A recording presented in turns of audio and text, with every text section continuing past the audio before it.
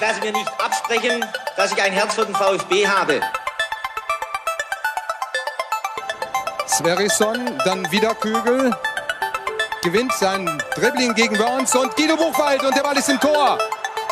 Nach 86 Minuten führt der VfB Stuttgart in Leverkusen mit 2 zu 1. Nach 1950, 52 und 84 gewinnt der VfB Stuttgart zum vierten Mal die Meisterschale.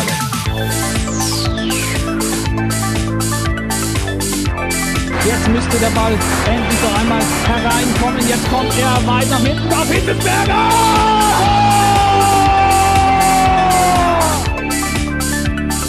Mario Gomez, spitze Winkel, noch einmal nach innen. Pizza hat den Ball und es gibt noch einmal Abstoß vom Tor.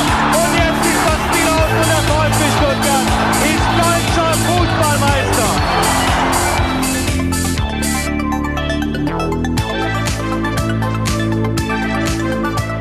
Herzlich willkommen zu STR. Mein Name ist Ricky und mit mir in der Leitung der Sebastian. Guten Abend, Sebastian. Guten Abend, Ricky. Die Fritzle-Box und ich grüßen dich. Ich wollte es gerade schon sagen. Also der ein oder andere wird sich wundern, warum heute Morgen keine neue STR-Ausgabe in seinem Podcatcher zu finden war. Der Grund war Unity Media, denn die haben dich, Sebastian, in Stich gelassen. Äh, Ja, also das ist eine lange Geschichte. Ich versuche es mal kurz zu machen. Wir ähm, sind ja auf der Jagd nach diesen Knacksern in, in meiner Aufnahme.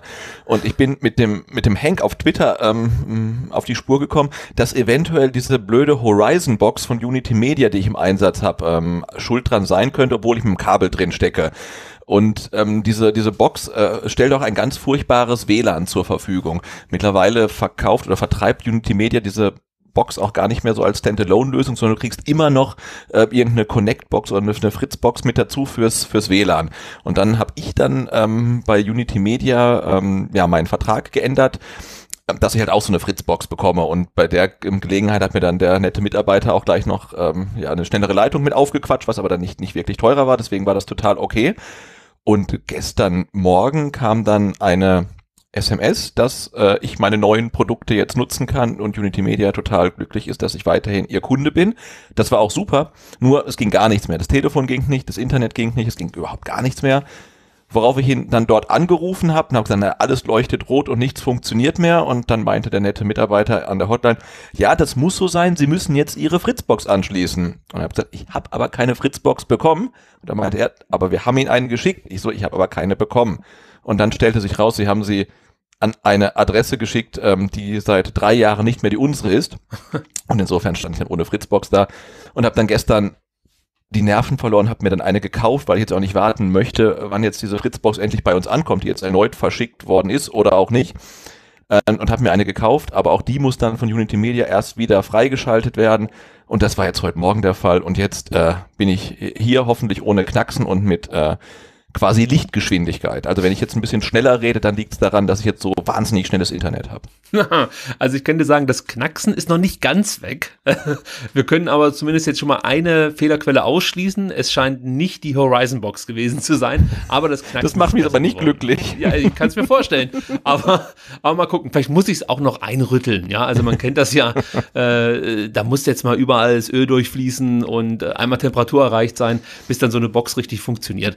Also von daher, ich bin da guter Dinge. Sollte es weiter knacksen oder schlimmer werden, dann werden wir natürlich auf das gute alte Medium Skype zurückgreifen. Da ist zwar die Audioqualität deutlich schlechter, aber verrückterweise, äh, verrückterweise zuverlässiger als Studio Link, weil das ist ja auch noch eine Möglichkeit, dass Studio Link den einen oder anderen Bug in seiner Beta hat. Also mh, wir forschen weiter könnte man so sagen.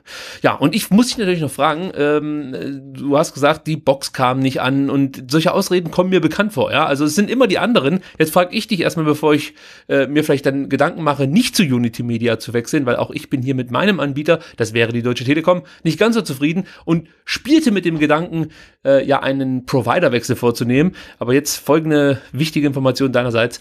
Hast du denn die Komplettlösung gebucht oder meintest du, dass du irgendwelche Komponenten selber stellen könntest? In der Tat habe ich mir jetzt ja diese, diese, diese äh, Fritzbox ähm, äh, selber gekauft, weil die gemietete ja irgendwann dann vielleicht mal ähm, ankommt. Ähm, aber äh, ich bin da, ähm, ja, das Recht auf meiner Seite. Also man hat jetzt mittlerweile freie Modemwahl irgendwie und ich äh, habe mich auch nicht für eine Billiglösung entschieden, sondern ich habe wirklich ähm, ähm, ja, für Qualität gesorgt und kann mir da keinen Vorwurf machen, dass es ähm, der Fehler auf meiner Seite liegen könnte. Gut, also hier wird anders gearbeitet als bei manchem ehemaligen Bundesliga-Verein, das können wir festhalten. Und was wir auch festhalten können, Deutschland 2019, da werden die Modems vermietet. So läuft das nämlich bei uns. Das ist auch absurd, dass man ein Modem sich mieten kann. Aber ja gut, so sind wir halt hier im Entwicklungs-, im Internetentwicklungsland Deutschland. Gut, kommen wir zum eigentlichen Thema dieses Podcasts. Das ist nämlich der Fußball. Und und ähm, wenn man sich so überlegt, äh, die letzte Ausgabe war sehr hitzig, äh, von Enttäuschung äh, geprägt, möchte ich fast schon sagen. Äh, war kurz nach dem Debakel von Hamburg, dem denkwürdigen 2 zu 6, muss man an der Stelle nochmal sagen. Und kurz vorm DFB-Pokalfinale, nee, Moment, das bin ich schon zwei, oh, drei das Runden ja du, früh. Also vor der zweiten Runde im DFB-Pokal. So ist es richtig. Ähm, da haben wir dem VfB nicht allzu viele Chancen zugesprochen. Aber am Ende muss man sagen, hat sich die Mannschaft deutlich gesteigert im Vergleich zum Ligaspiel und konnte durch einen 2 zu 1 Sieg, der, glaube ich, in der 110. Minute äh, zustande spät kam. auf jeden Fall, spät. Ja, spät. spät. Die nächste Runde erreichen. Darüber habe ich mich sehr gefreut, aber noch mehr habe ich mich natürlich über die Leistungssteigerung gefreut, die wir da schon ähm, ja dann wahrnehmen konnten. Also das war auf jeden Fall schon deutlich besser, was die Mannschaft da gezeigt hat. Und äh, vor allem fand ich es erfrischend und ja einfach auch gut, dass Tim Walter sein System dann doch angepasst hat und er nicht so dogmatisch auf seine Raute und seine Rochaden ähm, gesetzt hat, sondern gemerkt hat, er muss ein bisschen was verändern, um der Mannschaft mehr Stabilität mitzugeben. Und das zahlte sich am Ende auch aus. Ich denke mal, Sebastian, du hast das eh nicht gesehen. Äh, ja, total. Also ich meine, jetzt haben wir auch November, da ist es nur folgerichtig, dass äh, Tim Walter jetzt von der Raute ähm, mehr Richtung Tannenbaum geht. Weihnachten ist, ist nicht mehr weit weg und äh, ja, er hat ja dann wirklich das bewiesen, ähm, was wir ihm ja nicht unbedingt zugetraut haben oder uns gefragt haben, ob er oder wie flexibel er ist. Und ja, ähm, er ist so flexibel, ähm, das System zu ändern und vielleicht auch ein bisschen die Spielweise, weil dass man das in Hamburg dann sieht, ähm, war klar mit nicht so ähm, exorbitanten Ballbesitz wie, wie üblich, aber man hat, um jetzt einen kleinen Vorgriff zu wagen, das ja auch ähm, ein Stück weit gegen Dresden gesehen, dass die diese ganzen Statistiken ja deutlich anders aussahen ähm, als in den Spielen gegen Kiel oder gegen Wien Wiesbaden. Und äh, ja, also ich finde schon, er hat genau das gemacht, was alle gefordert haben, nämlich ähm, die Taktik ein bisschen ähm, angepasst. Also einmal halt, hm, was sich dann in der Aufstellung halt niedergeschlagen hat, aber auch in der, ähm, in der Spielweise, was man dann vor allen Dingen gegen Dresden gesehen hat. Ja, wir werden, wenn wir über das Spiel gegen Dresden gleich sprechen, dann natürlich noch ein bisschen detaillierter drauf eingehen, aber im Großen und Ganzen waren wir zufrieden mit ja, dem Zeichen oder mit der Leistung, die die Mannschaft gezeigt hat und vor allem natürlich dann auch äh, mit dem Erreichen des Achtelfinals, das am 4. oder 5. Februar ausgetragen wird. Leider Gottes in Leverkusen. Also äh, ja, ist jetzt nicht das allerattraktivste Los.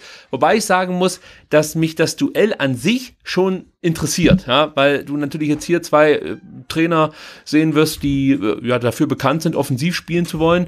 Und äh, natürlich ist es auch so ein kleiner Teaser, wie es mit weiter System wirklich dann in der Bundesliga funktionieren mhm. könnte. Ja, also ich kann mir schon vorstellen, dass der VfB da nicht ganz chancenlos ist in Leverkusen. Ich erinnere da zum Beispiel an äh, das Champions League-Spiel von Lok Moskau, die Leverkusen in Leverkusen mit 2 zu 1 besiegen konnten.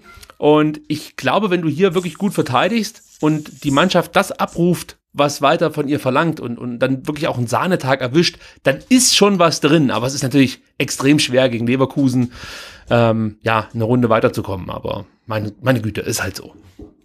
Ja, weiß nicht, was sagst du zum Los? Ist es dir eh egal? Nee, das nicht. Also ich hatte gesagt, gegen Hamburg ist mir erstmal egal, aber jetzt, wo man dann endlich mal weiter ist, hatte ich mir natürlich äh, sehr, sehr ein Heimspiel gewünscht. Gab es mal wieder nicht. Im ersten Moment war ich dann auch wieder, äh, ja, war ich dann echt ein bisschen enttäuscht, weil jetzt nicht so der super attraktive Gegner, aber natürlich ein starker Gegner. Ähm, andererseits, du hast angesprochen und auch ein Hörer ähm, dann auf der Mailbox, treffen natürlich zwei ähm, Offensivtrainer aufeinander und äh, ja, das könnte eine, eine relativ ähm, äh, schöne Veranstaltung äh, werden und wenn ich das, ich gucke echt nicht mehr viel erste Liga, aber ich glaube Leverkusen ist ja auch nicht wirklich konstant und so ein bisschen eine Wundertüte. Äh, äh warum soll da nichts drin sein und ähm, wie jetzt so die, um, ja, die, die, die äußeren Bedingungen Anfang Februar sind, das weiß man ja auch nicht. Da kann ja auch äh, irgendwie der rote Ball ähm, zum Einsatz kommen und die spielen auf Schnee oder es kann sonst was passieren. Äh, ja, also ganz chancenlos ist der VfB nicht und wie du sagst, ist halt wirklich mal ein schöner äh, Lackmustest, wie sich äh, das System Walter, wie es bis dahin auch immer aussehen mag, äh, dann mal gegen den Erstligisten schlägt. Ja, also ich habe irgendwie schon ein bisschen Bock drauf auf die Nummer. Äh, hoffe natürlich, dass das nicht irgendwie, ja, dann dazu führt, dass sich der ein oder andere verletzt oder dass wir dadurch irgendwie federn lassen im in der Meisterschaft in der zweiten Liga, aber im Großen und Ganzen bin ich gespannt, wie das ausgeht. Tim Walter hat sich dazu auch geäußert, meinte, wir hätten natürlich lieber zu Hause gespielt. Im Pokal wünscht man sich immer ein Heimspiel, um mit den Fans im Rücken antreten zu können. Bayer Leverkusen ist eine Top-Mannschaft in der Bundesliga und damit eine sehr schwere Aufgabe. Das ist die Corporate-Antwort. Sven Mislintat äh, bläst ja irgendwie ins selbe Horn. Er meinte, Bayer Leverkusen ist eine sehr, sehr schwere, oder Bayer Leverkusen ist ein sehr, sehr schwerer Gegner, noch dazu auswärts. Das Spiel wird eine riesen Herausforderung für unsere junge Mannschaft. Aber genau das ist, glaube ich, auch die Chance. Ja, also da sind viele Leute dabei, die sich, äh, glaube ich, sehr, sehr gerne mal mit äh, einem so starken Gegner messen. Vor allem, weil du halt in der zweiten Liga jetzt ständig dieses tiefstehender Gegner, der mit äh, allen noch halblegalen Mitteln versucht, dich am Tore schießen zu hindern, äh, jetzt dann vielleicht im Februar auf eine Mannschaft triffst, äh, die genau das Gegenteil macht, nämlich die Fußball spielen will. Und das wird halt dann, haben wir jetzt schon mehrfach gesagt, äh, interessant sein, wie sich der VfB da aus der Fähre zieht. So, Simon Rolf. muss ja auch da ja? noch die, die, die, positive Seite sehen, es dürfte nicht ähm, unmöglich sein, an Tickets zu kommen für VfB-Fans. das stimmt. Also in, äh, bei dem Spiel haben wir wirklich gute Chancen, äh, dass, dass alle, die nach Leverkusen wollen, ja, äh, dann auch ein Ticket bekommen, obwohl wir, glaube ich, in den letzten Jahren in Leverkusen nicht allzu schöne Erfahrungen ähm, gemacht haben. Ich erinnere mich jetzt gar nicht mehr, wie war denn das, das letzte Mal? War das nicht auch so ein Katastrophenspiel in Leverkusen, dass wir äh, haushoch verloren haben. Ich weiß es gar nicht mehr. Mir ist da irgendwas im Hinterkopf, dass wir da auch massiv untergegangen sind. Ähm, aber ja, mal gucken, wie es denn In der Regel hat ja immer Stefan Kiesling ähm, gegen VfB getroffen. Das ja. macht er jetzt nicht mehr. Ähm, und es gibt natürlich, ähm, ja, ich glaube, ähm, um, um, um mal zu, schon zum Mann der Ausgabe zu kommen, Santi Askasiba hat natürlich auch so Leverkusen-Vergangenheit ähm, mit äh, seiner Geschichte dagegen gegen Harvard, wo er vom Platz geflogen ist und auch im Spiel in der Saison davor hat er ja so ein paar Szenen gehabt. Ich erinnere mich dran, wie er, glaube ich, den, den, den Julian Brandt, der jetzt hier in Dortmund spielt, dann irgendwie da mal ganz rigoros abgeräumt hat und so weiter. Also und dann noch Anfang Februar auf ähm, knallhart gefrorenem Boden. Na gut, die werden Rasenheizung haben. Also das, ähm, ja, das könnte Und es gab das Duell äh, zwischen Santi und ähm, Harvards. Das Harvards, genau. Führte, ja genau, das, das die rote Karte bekommen hat, ja. Genau, genau. Also äh, da gibt es schon noch vielleicht das ein oder andere Hühnchen zu rupfen zwischen dem Argentinier und ähm, dem Herrn Havertz. Ich bin gespannt, ob es dazu kommt. Vielleicht noch kurzen Satz von Simon Rolfes, dem Sportdirektor Bayer Leverkusen, der meinte, ein tolles Los für uns. Der VfB wird mit viele, wird viele Fans mitbringen. Das wird ein ganz heißer Pokalfight mit sicherlich großartiger Atmosphäre. Also gerade dafür ist ja Leverkusen bekannt. Mhm. Unser klarer Anspruch ist es, dieses Duell für uns zu entscheiden und ins Viertelfinale zu kommen. Ja, also die Favoritenrolle ist damit geklärt, auch wenn Tim Walder ja gerne Favorit ist. In dem Spiel wird eher Leverkusen als Favorit ins Rennen gehen. Gut, dann kommen wir mal zum ähm, Spiel gegen Dresden. Ähm, jetzt muss ich überlegen, du warst nicht im Stadion, richtig? Äh, nee, ich war auf der Autobahn. Ah, ja, das ist ja auch schön. ja, geht so, aber äh, ja, also jetzt das zweite, zweite Heimspiel in Folge, wo Familie vor VfB ähm, ging. Das ist halt dann manchmal so und das ist ja, glaube ich, auch richtig so. Aber ich habe ähm, leider ähm, nicht so viel gesehen. Also da, wo äh, wo es dann LTE gab, ähm, habe ich sehen können und habe so, ja, ich glaube so 40 Prozent des Spiels vielleicht dann auf der Autobahn sehen können, ähm, als Beifahrer natürlich, nicht als Fahrer und ähm, die anderen 60 Prozent musste ich dann nachholen. Na, ich hoffe, dass es die 40 äh, Prozent der ersten Halbzeit waren, die du sehen konntest, denn das waren die besten aus meiner Sicht. Ähm, ich muss noch kurz sagen, ich war diesmal nicht beim Becherpfand, denn normal bin ich, oder normalerweise bin ich nicht abergläubisch, aber die letzten beiden Male war ich beim Becherpfand und der VfB hat seine Heimspiele verloren. Dann dachte ich mir oh. diesmal, nö, ähm, ich gehe jetzt nicht zum Becherpfand und ziehe es so durch, wie ich es früher auch gemacht habe, sprich direkt vom Auto äh, ins Stadion und äh, siehe da, der VfB gewinnt wieder. Also, Da schauen wir ja. hm, jetzt werde ich doch noch abergläubisch. Ich kann aber noch erzählen, dass meine Sitznachbarn, da gibt es wieder Neuigkeiten. Also, jetzt muss, ich- jetzt muss ich weiter ausholen. Also, zum einen hatte ich diesmal neue Sitznachbarn. Fußball, Novizen möchte ich was so, schon sagen. Das erkennt man immer daran, dass jemand mit einem prall gefüllt, gefüllten Rucksack ins Stadion kommt. Das ist immer kein gutes Zeichen, ja. Und äh, ich, ich frage mich ja immer, was haben denn Leute, also wenn sie zu zweit ins Stadion gehen, Männlein, Weiblein, was haben denn die alles in diesem Rucksack? Äh, ein paar Dinge konnte ich jetzt herausfinden. Also zum einen waren Sitzkissen mit in diesem Rucksack. Riesige Sitzkissen, die ein bisschen zu groß für die Sitzschalen beim VfB waren, so dass ich ein Sitzkissen immer in der Seite stecken hatte. äh, das war schön. Das war ein gutes Gefühl. Dann waren jeweils, also ich würde sie als Übergangsjacken bezeichnen, äh, mit im Rucksack. Und überraschenderweise eine PET-Flasche. Ich weiß gar nicht, wie sie das geschafft haben, aber ähm, ja, kann man mal sehen. Äh, Sie haben es geschafft, äh, eine eine Plastikflasche mit ins Stadion zu schmuggeln. Und ähm, dann war es halt so, dass die Frau während dem Spiel sich viel mehr für die, ja, für die Fanblöcke interessiert hat. Also das ist ja auch völlig okay. Ich finde ja, das Spiel an sich ist ja fast schon Nebensache bei einem Stadionbesuch. Ich finde wirklich auch das Drumherum und was da auf den Rängen passiert und natürlich auf den Trainerbänken mindestens genauso interessant wie das Spiel an sich. Ja? Nur die Frau war völlig fasziniert von den Dresdnern und natürlich auch von dem äh, VfB-Blog äh, und hat dann das kommentiert. Das fand ich aber irgendwie schon interessant und auch possierlich. Also ich hoffe, das kommt jetzt nicht zu despektierlich rüber, aber es Nee, war halt wirklich, nicht. ja gut, es war halt so, dass sie dann zu Beginn zu ihrem Mann leise sagte, siehst du, jetzt warten die Dresdner, bis die Stuttgarter fertig gesungen haben und dann kommt direkt der Konter. So, da muss ich schon das erste Mal ein bisschen schmunzeln. Und äh, dann kam es natürlich zu der Situation, dass beide Fanlager plötzlich gesungen haben. Und äh, dann hat der Mann ihr auch erklärt, nee, das ist jetzt nicht so, dass das ein klassischer Wechselgesang ist, sprich die einen beleidigen die anderen und dann dürfen die nachlegen, sondern dass da halt jeder so seine, seine Gesänge hat und natürlich gibt es da auch mal was Beleidigendes. Und die fand das auf jeden Fall sehr unterhaltsam und sehr interessant, war damit beschäftigt, meine bekannten Nebensitzer. Du erinnerst dich an äh, die Frau, die Knieprobleme hat und der Mann, der äh, ja immer die Beine so auseinanderspreizt, wenn er neben mir sitzt, sodass ich kaum Platz hatte.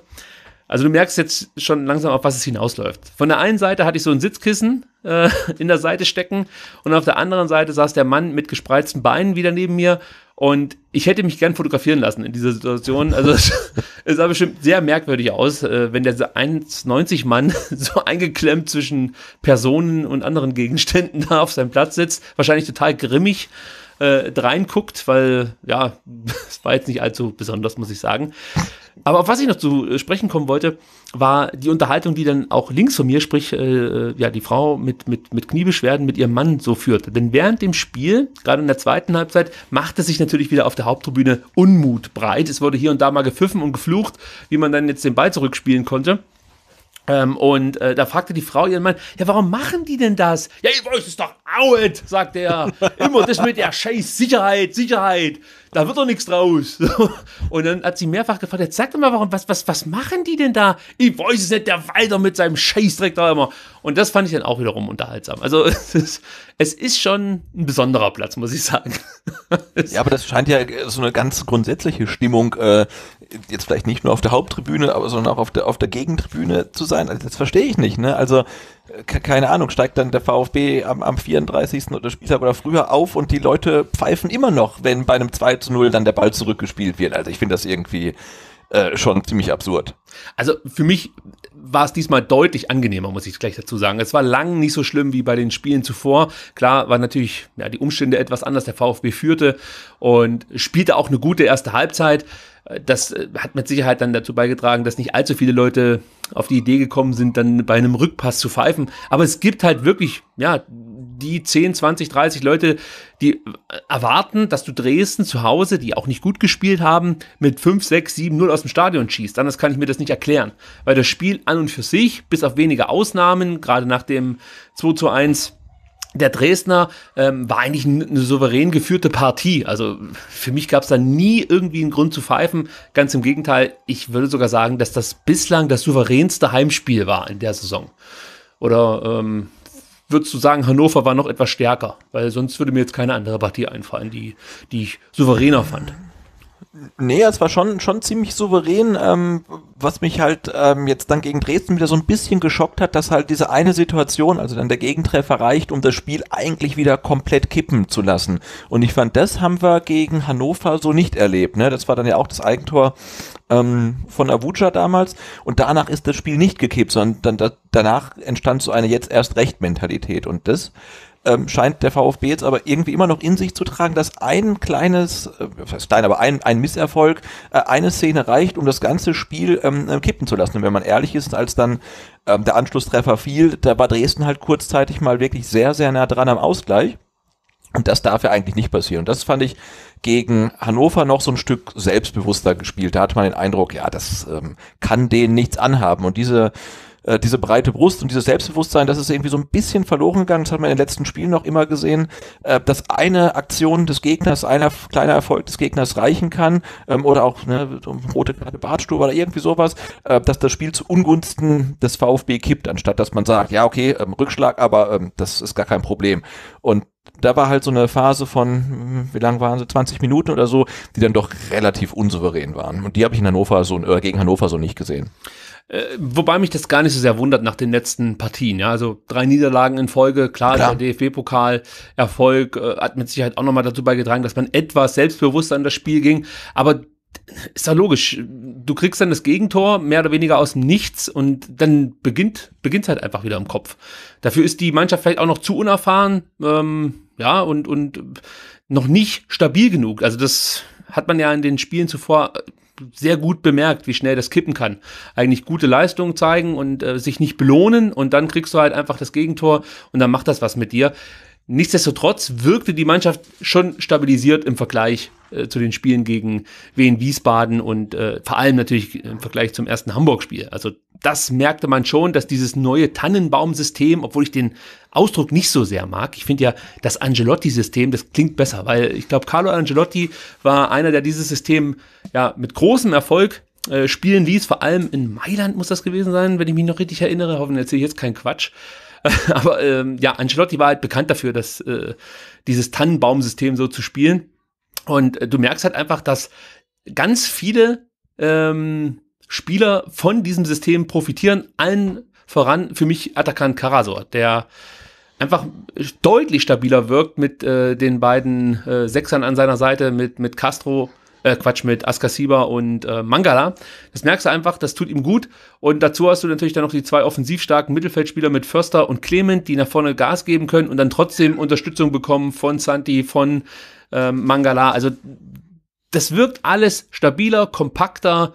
Ähm, man hat das Gefühl, dass das eigentlich das System ist, das uns jetzt gegen solche Mannschaften wie im Dresden und dann vielleicht auch äh, am kommenden Wochenende gegen Osnabrück ganz gut zu Gesichte steht, wobei natürlich jedes Spiel anders ist und man immer wieder gucken muss, wer wo seine Stärken hat. Ich glaube, gegen Osnabrück wird es besonders schwer, äh, Tore zu erzielen. Die haben eine sehr, sehr gute Abwehr, kommen wir nachher noch drauf zu sprechen. Aber so im Großen und Ganzen bin ich eigentlich zufrieden gewesen mit dem, was ich da gesehen habe.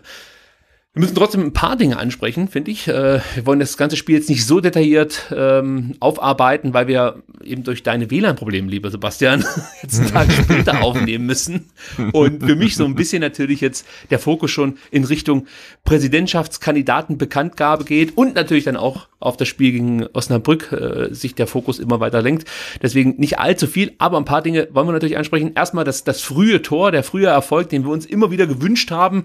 Äh, gegen Hamburg war es schon so weit, dass wir gleich früh einen Elfmeter bekommen haben und das Tor erzielen konnten. Und jetzt hier gegen ähm, Dresden war es halt auch so, dass wir nach drei Minuten in Führung gegangen sind durch einen Eckball, den, glaube ich, Clement geschlagen hat, genau, auf Kämpf. Und dann gibt es halt diese merkwürdige Abwehraktion von Hammerleinen, dem dann das Tor zugeschrieben wird, Eigentor. Aber ich war der Meinung, dass man da gleich in den ersten zehn Minuten, nicht nur wegen dem Tor, sondern auch allgemein von der, vom Auftreten der Mannschaft her gemerkt hat, dass man heute äh, ja dem Heimpublikum was bieten möchte und ähm, ja, einfach merkt, die Mannschaft möchte hier was wieder gut machen. Und das hat mir sehr, sehr gut gefallen. Und ähm, ja, ich war, um das abzurunden, sehr zufrieden mit der ersten Halbzeit und habe mich natürlich auch sehr gefreut. Und jetzt kommen wir zum wichtigsten Moment in der ersten Halbzeit, äh, dass Santiago Ascasiba endlich mal für den VfB treffen konnte. In der 38. Minute war es soweit, Sebastian. Nach 68 VfB-Spielen hat Jan, Santiago Ascasiba endlich sein erstes Tor erzielt. Und es war ein geniales Tor, wenn du mich fragst. Stenzel, der ähm, äh, eigentlich Förster hätte anspielen können, aber Mangala dann äh, gut schickt auf dem Flügel draußen. Das hat sich, es sah einfach hervorragend aus, fand ich. Dann gibt's halt, ähm, jetzt muss ich nochmal überlegen, wie das war. Dann legt, glaube ich, äh, Mangala den Ball nochmal auf Förster. Wie werden die Vorlage gegeben? Weißt du es gerade auswendig? Ich glaube Mangala, oder?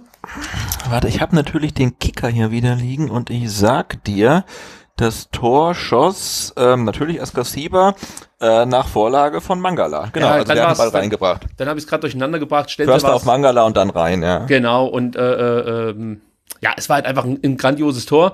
Und natürlich auch, wie Askasiba das Tor macht, im Rutschen oder von mir aus auch im Grätschen. Es war halt einfach ähm, ein Tor, wie es nur Santiago Askasiba erzielen kann. Aber jetzt will ich natürlich von dir wissen, was war da los auf der A7 oder wo auch immer du standst, als Santiago Askasiba sein erstes Tor erzielt hat? Ich habe das Tor tatsächlich noch gesehen und da, aber sofort danach irgendwie dann Verbindungsabbruch gehabt, weil ich dachte, ah, endlich hat er sein Tor geschossen. Äh, Wunderbar. Und ich glaube, ähm, nachdem er ja am Anfang der Saison schon mh, sehr häufig in aussichtsreiche Abschlussposition aufgetaucht ist und die Dinge alle irgendwie nicht äh, im Netz unterbringen konnte, war klar, also wenn er ein Tor schießt, dann mit einer Grätsche, weil ich glaube, wenn er halt stehen bleibt dabei, dann trifft er das Tor nicht. Und natürlich hat er dann seinen ersten Treffer für den VfB ähm, äh, reingegrätscht. Ich habe irgendwo gelesen, es war vielleicht sogar sein erstes Profitor ähm, überhaupt.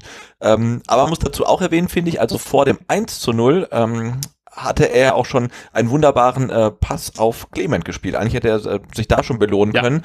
Du hast es angesprochen, also der VfB kam wirklich mit, mit, mit viel Druck aus der Kabine und wollten von Anfang an ähm, das machen, was wir eigentlich immer schon erwartet haben. Die, die sollen rausgehen und gleich den Gegner unter Druck setzen. Das haben sie gemacht und haben sich dann ja auch gleich also richtig Chancen erarbeitet und dieser, diesen Pass fand ich auch schon ähm, relativ gut. Also er mag ähm, der Santi mag äh, Schwächen haben im, im Passspiel und auch im Aufbauspiel, aber er ist trotzdem in der Lage, auch einen relativ schlauen Pass zu spielen, wie den auf Clement, den er meiner Meinung nach, oder aus dem Clement auch meiner Meinung nach viel, viel mehr machen könnte, als das, was dann rausgesprungen ist. Das war schon äh, ziemlich stark und er war offensiv ja eh on fire, ne? Also in den 38 Minuten das Tor, dann noch äh, ein zweites Tor geschossen, das dann ähm, zu Recht aufgrund von Abseits ähm, abgepfiffen wurde, aber ich glaube, er stand gar nicht im Abseits, sondern Förster war es, glaube ich, vorher.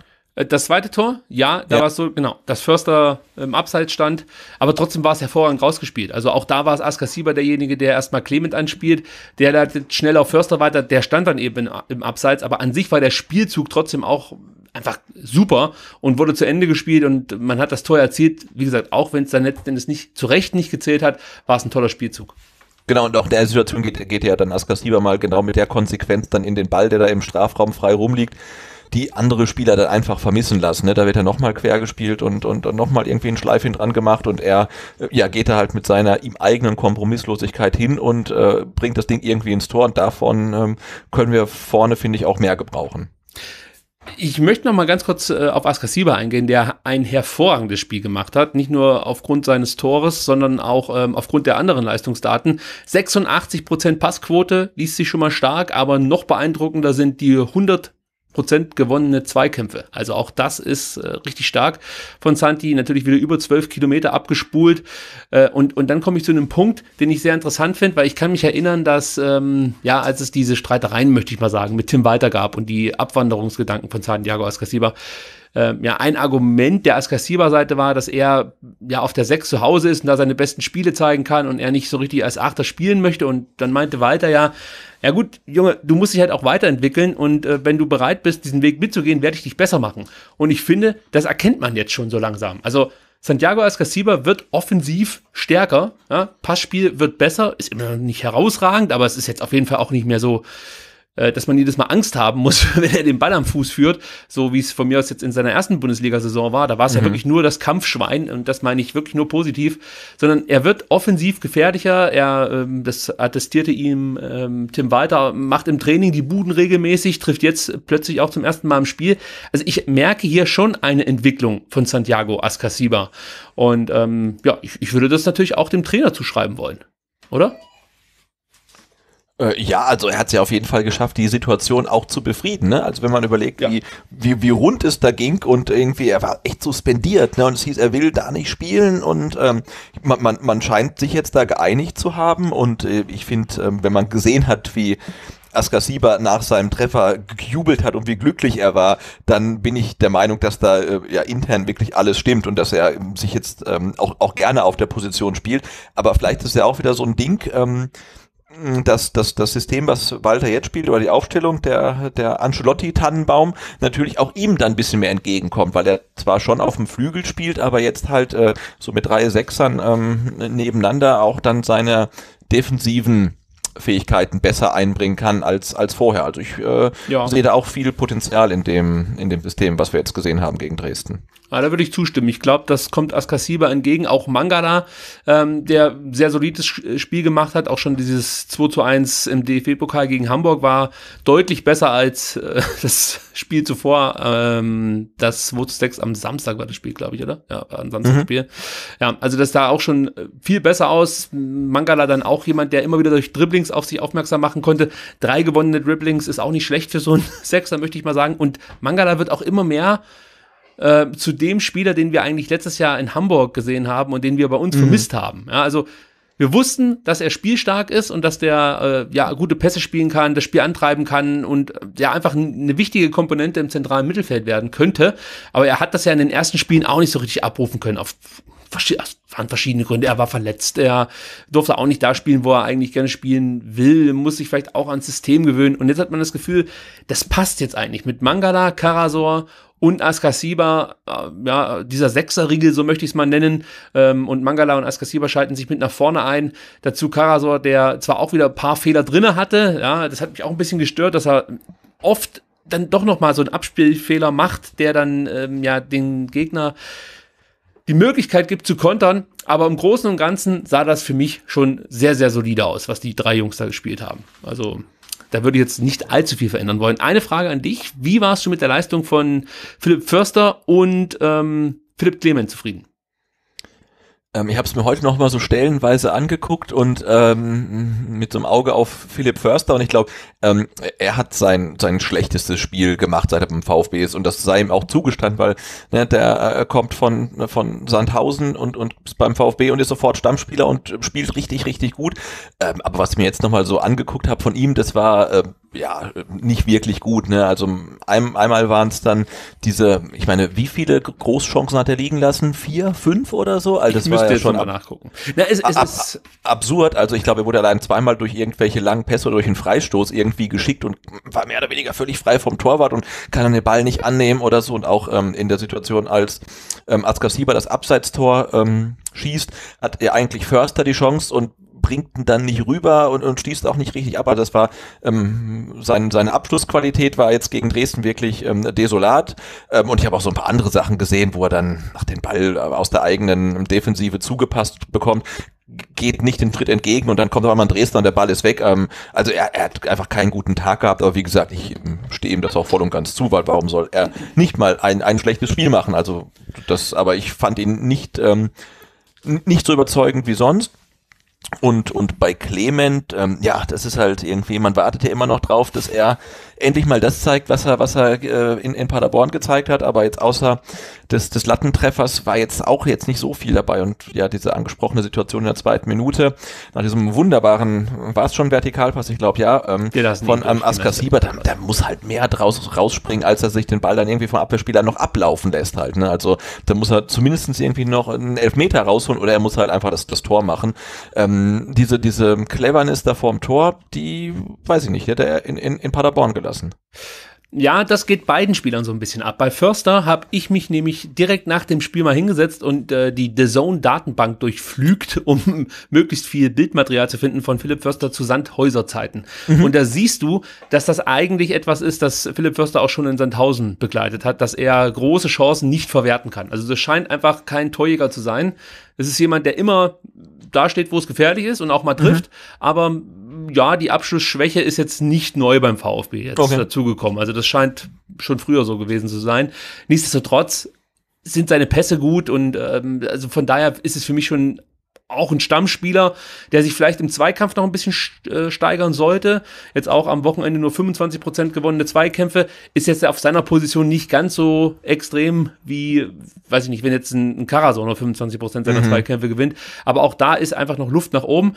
Und bei Clement muss ich sagen, da bin ich so zwiegespalten, weil er für mich so ein bisschen die Davi gerade ersetzen muss. Also sprich, ich schaue eher drauf, was bereitet der so vor. Und das ist dann schon gut. Also fünf Torschussvorlagen jetzt in dem Spiel, selber drei Torschüsse. Klar, er muss irgendwann auch mal eine Bude machen, aber äh, wir haben ja so ein bisschen uns gefragt, nachdem sich die Davi verletzt hat, wer übernimmt diese Rolle von die Davi? Und ich habe das Gefühl, dass Clement wirklich jetzt so nach und nach in diese, in diese Rolle schlüpft. Also DFB-Pokal gegen Hamburg war das schon etwas besser ähm, und, und jetzt gegen Dresden fand ich, hat er eigentlich mit eines seiner besten Spiele hier in Stuttgart abgeliefert. Zwar immer noch nicht herausragend gut, so wie letzte Saison in Paderborn, du hast es angesprochen, aber ja, ich finde, es geht in die richtige Richtung. Und wäre ich jetzt Trainer, ja, dann würde ich selbstverständlich nicht den VfB trainieren, aber ich würde, glaube ich, Philipp Clement nicht rausnehmen, sondern ich würde ihn jetzt einfach weiter spielen lassen und hoffen, dass irgendwann der Knoten platzt. Der macht irgendwann seine Bude. Das, du kannst gar nicht so oft daneben schießen und an, den Lat, an die Latte und an den Pfosten. Irgendwann trifft er das Ding.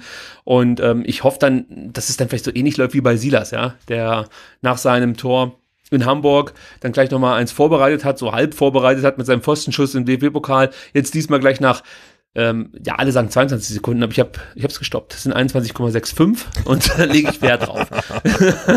21,65 äh, Sekunden von Einwechslung bis zu seinem Tor. Vielleicht läuft es bei Clement ähnlich, dass wenn er da mal trifft, dass das ganze Ding äh, dann auch etwas leichter von der Hand geht. Aber auch hier finde ich, war zum ersten Mal spürbar, dass ich ähm, ja, zwei Spieler vielleicht so in der Offensive festgespielt haben mit Förster und Clement. Außer es reicht kräftemäßig bei dem einen oder anderen nicht. Das muss man ja auch immer so ein bisschen berücksichtigen. Du hast es gesagt, Förster, viele Partien schon bestritten für den VfB, neu hergekommen. Clement, Vorbereitungen immer wieder angeschlagen, auch während der Saison immer an, angeschlagen. Also das muss man natürlich auch im Hinterkopf behalten. Aber ansonsten sehe ich jetzt auf der Bank keinen offensiven Mittelfeldspieler, der den beiden jetzt groß gefährlich werden könnte. Oder hm, Hast du da jemanden? Nö, aber ich finde, ich, ich finde, es spricht aus meiner Sicht auch nichts dagegen, dass man mal ähm, eine Massimo starten lässt oder auch einen, ähm, einen Klimowitz, der irgendwie wieder nach nach dem Aue-Spiel, glaube ich, irgendwie wieder komplett in der Versenkung verschwunden ist, der mhm. jetzt auch nicht so einen schlechten Eindruck macht. Aber das sind ja dann aus meiner Sicht auch eher Luxusprobleme, weil Clement und Förster sind jetzt ja keine Leute, äh, keine Spieler, wo du sagst, um Gottes Willen, wie kann man die aufstellen? Nö, die haben ja, die, die spielen ja nach wie vor ordentlich. Ähm, wie gesagt, Förster hat in den Partien davor nach meiner Meinung äh, besser gespielt, aber es ist ja trotzdem noch alles okay. Also das, äh, man, man kann die definitiv äh, wiederbringen, da spricht gar nichts gegen, weil man ja auch schon gesehen hat, dass sie es besser können, als jetzt gegen Dresden gespielt haben. Ähm, aber man hat ja zusätzlich auf der Bank auch noch ähm, ein, zwei Leute, ähm, von denen man auch schon gesehen hat, dass sie eine gewisse Qualität mit reinbringen. Und ja, grundsätzlich scheint es ja wirklich so zu sein, dass ähm, Tim Walter jetzt nach zwölf Spieltagen seine, seine Stammelf gefunden hat, finde ich, weil wenn man jetzt mal ähm, die Personalie Philips äh, Schrägstrich Badstube ausklammert, dann spricht ja eigentlich überhaupt nichts dagegen, dass wir ähm, die elf ähm, oder die zehn dann äh, in Osnabrück wieder so auf dem Platz sehen. Tja, wenn ich das so vergleiche mit unseren Stadtelf-Tipps, muss man sagen, das ist die Butze 11, weil du hast zweimal in Folge zehn Spieler richtig vorhergesagt, lieber Sebastian. Ja. Hut ab davor, da werden wir nachher noch drauf zu sprechen kommen. Ich möchte ganz, ganz kurz noch über das Gegentor sprechen, über den Elfmeter. Erstmal grundsätzlich äh, sind wir uns, glaube ich, einig, das ist ein Elfmeter und den kann man so pfeifen. Ja, wenn man, wenn man die, die Bilder dann sieht, ist es ein Elfmeter. Was mich halt ein bisschen stört, der Videoschiedsrichter soll eingreifen, wenn eine ähm, krasse Fehlent oder eine klare Fehlentscheidung vorliegt. Und dann frage ich mich, wie klar kann die Fehlentscheidung sein, wenn der, ähm, wie wäre es immer sonst, der ansonsten gute Schiedsrichter, ähm, Arning hieß er, sich mhm. die Szene boah, aber wirklich jetzt vier Minuten oder so auf dem Bildschirm anguckt. Also Pass es war auf. ja echt echt ich, close, ich, weil er muss ja entscheiden, hat er den Ball berührt oder hat er den Ball nicht berührt und wenn er den Ball nicht berührt hat, war es vorm 16er oder war es im 16er. Und dabei haben wir jetzt noch gar nicht drüber gesprochen, ob Kone nicht vielleicht sogar im Abseits stand. Ne? Also da waren so viele Faktoren, ich würde sagen, es war keine klare Fehlentscheidung, ähm, da, dort keine Elfmeter zu pfeifen. Wenn du natürlich das dann ähm, 50 Mal in Superzeitlupe hin und her laufen lässt, dann kann man sagen, okay, die Entscheidung war nicht richtig, aber sie war nicht klar falsch, weil man hätte es auch einfach laufen lassen können, ähm, wie er es getan hat. Und ähm, das fand ich dann wieder so ein bisschen blöd und dass es halt auch viel zu lange gedauert hat. Ansonsten war der Schiri ähm, gut, fand ich. Ähm, mhm. Ja, und jetzt kommst du mit deinen Details. Du warst äh, relativ nah an der äh, Review-Area. Nee, nee, aber ich habe... Also auf der anderen Seite, oder? Ich habe ich hab, genau, ich habe wieder die Stoppuhr ausgepackt. Es waren genau 4 Minuten 15, äh, die zwischen Foul und ausgeführten Elfmeter vergangen sind. Und das ist schon irre. Wenn du dir überlegst, eine Halbzeit geht halt 45 Minuten, ja, und 10% dieser äh, 45 Minuten werden damit verbracht, um eine Szene zu überprüfen. Das ja, wenn ist dann halt noch eine, eine Nettospielzeit von, ich glaube, die liegt ja wahrscheinlich dann unter 30 Minuten nimmst ja. oder so, ne, dann ist das halt absurd. Und dann war es keine klare Fehlentscheidung. Wenn er so oft hingucken muss, ist ja. Aber da bin ich wieder bei, beim nächsten Punkt. Ich, hast du das jetzt eigentlich geschnallt? Ähm, ist, ist es jetzt wirklich so, dass nur klare Fehlentscheidungen überprüft werden? Weil so hieß es ja mal zu Beginn, ja, nur klare, nur bei glasklaren Fehlern greift der VAR ein.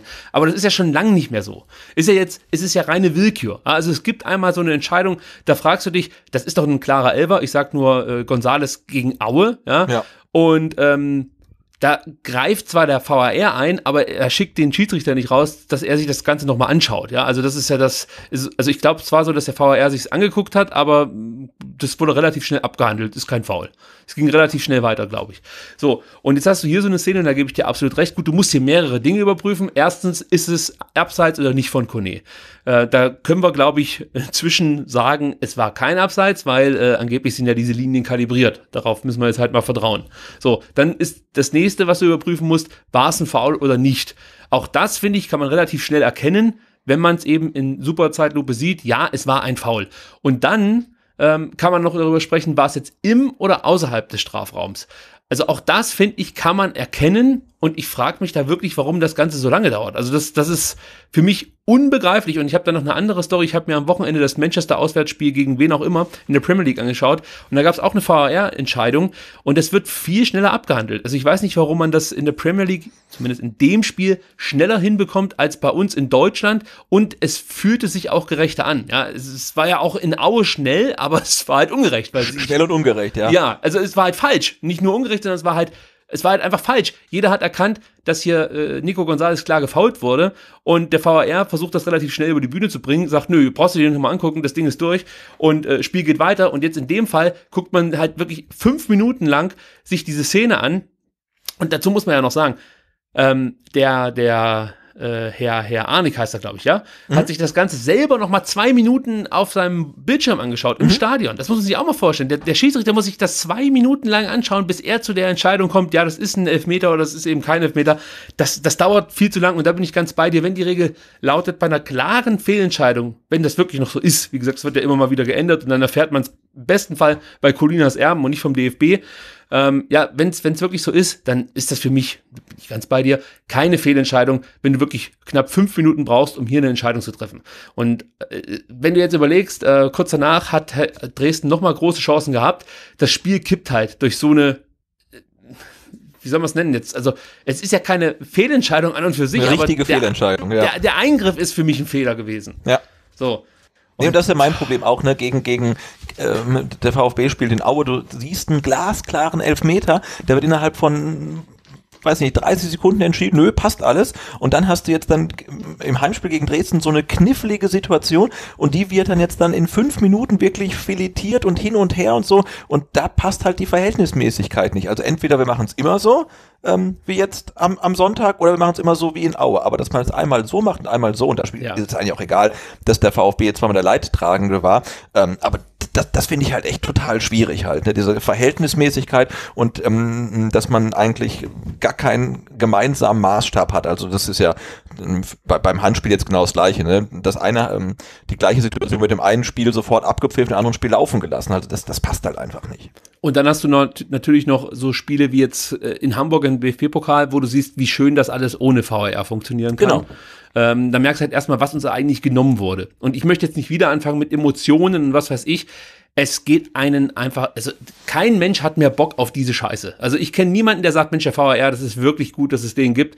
Äh, es fühlt sich alles viel gerechter an und ansonsten findet man es eigentlich auch cool, weil die Schiedsrichter äh, weiß ich nicht, dadurch entlastet werden. Ganz im Gegenteil. Ich finde, die Schiedsrichter haben ungemein eingebüßt an, an Credibility, wenn man das in der Jugendsprache mal so ausdrücken darf, auf dem Platz.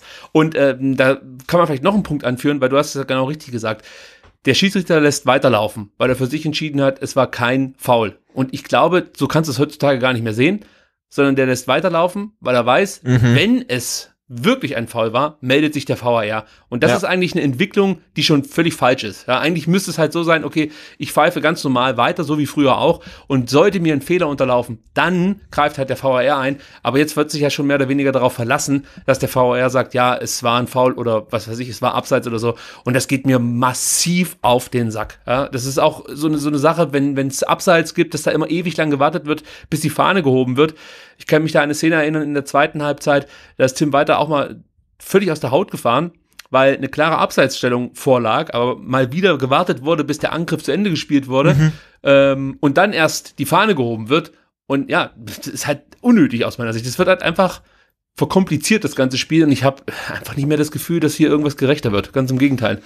Es, es schadet dem Sport. Das ist jedenfalls meine Meinung zu diesem VAR. Geht mir auf den Sack. Macht es weg.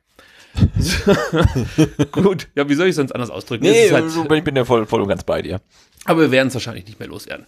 Gut, du hast schon äh, zwei Chancen, oder du hast es schon angesprochen, die Dresdner hatten nochmal die Möglichkeit zurückzukommen durch Store, der große Chancen hatte. Einmal hat ähm, Artik und, und Kone das hervorragend äh, mit einem Doppelpass rausgespielt. Die erste große Chance von Store, ähm, die dann, äh, ich, ich, nee, der hat dann über ein Tor, übers Tor geschossen, so war's. Die zweite wurde genial gehalten von Von, Kobel. von Gobel, ja. Was ging da voraus? Castro spielt wirklich einem, also einen ganz fürchterlichen Fehlpass. Äh, scheint irgendwie an dieser Linksverteidigerposition zu liegen, dass man da ab und zu mal so geistige Aussätze hat und ja, dann einfach unglaubliche Fehlpässe spielt und äh, ja, spielt den Ball direkt in Konés Füße, der wirklich großartig die Übersicht behält, Store anspielt und der muss das Ding einfach machen, steht völlig frei, elf Meter vorm Tor und wie Kobel das Ding hält, war wirklich sensationell. Vielleicht auch hier ein paar Worte zu äh, Gregor Kobel, der äh, wirklich ein brutal guter Rückhalt ist. Also ich finde, was der so rausfischt, ist richtig, richtig stark. Und dazu kommen die, die tollen Bälle, die er auch rausspielt. Ja. 83% Passquote. Für einen Torhüter ist das herausragend. Ja. Also das ist einfach richtig, richtig gut, was der Junge spielt.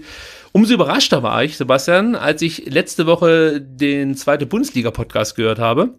Und die Jungs sich da über Gregor Kobel unterhalten haben und meinten, dass das bislang so die Enttäuschung der Saison wäre, weil er Nein, eben viele echt? einfache Gegentore bekommen würde. Ja. Jetzt bin ich mal auf deine Expertise gespannt, aber ich kann es mir schon vorstellen, nachdem ich deine Reaktion gerade gehört habe. Nee, jetzt mal abgesehen von dem, ähm, das war gegen Wien Wiesbaden, ne? Das, ähm, das Gegentor, wo er, wo er nicht so gut aussieht, wo, wo Sosa den Ball verliert und, und, und Ja. Kobel dann auch sagt, er war schon wieder eigentlich im, im, in Gedanken halt äh, bei, bei der Spieleröffnung. Also ich finde, da sah er nicht gut aus, aber das ist jetzt in der kompletten Saison eigentlich das einzige Tor, ähm, an dem ich ihm irgendwie Aktien geben würde. Ähm, aber ansonsten finde ich, hält er richtig gut und das Wichtige ist, ähm, er, er, er strahlt Sicherheit aus, ne? weil als, als äh, Torwart vom VfB in der zweiten Liga, da bist du halt dann auch mal über weite Phasen des Spiels ähm, beschäftigungslos. Und dann ist es halt wichtig, jetzt dann ähm, äh, gerade ähm, wie dann ähm, in der mm, 78. Minute, wenn dann halt mal so ein Ding kommt und der, der Stürmer taucht vor dir auf, äh, dass er das dann hält, ne? Und das, das macht er. Ähm, und er ist ja auch jetzt bei irgendwelchen Flanken und Eckbällen halt super sicher, ne? Da mu- musst du ja nicht Angst haben, ähm, wie irgendwie zu Ulreich-Zeiten, wenn halt irgendwie eine Flanke in den Strafraum segelt, da- dass er die nicht, nicht hat, sondern er hat die halt einfach.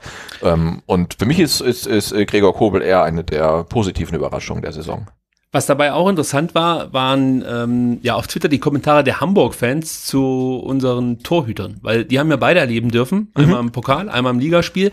Und da war auch, auch die Meinung, dass eigentlich der Bretlo der bessere Torhüter sei und sie gar nicht verstehen, in Anführungsstrichen gar nicht verstehen. Also für sie war halt äh, Bretlo die Nummer eins und, und Kobel war eher der etwas, ja, unsichere Torhüter, der dann vielleicht auch beim Aufbauspiel nicht so gut aussah. Gut, das mag natürlich auch damit zusammenhängen, dass der halt sechs Tore kassiert hat und der andere eben nur eins.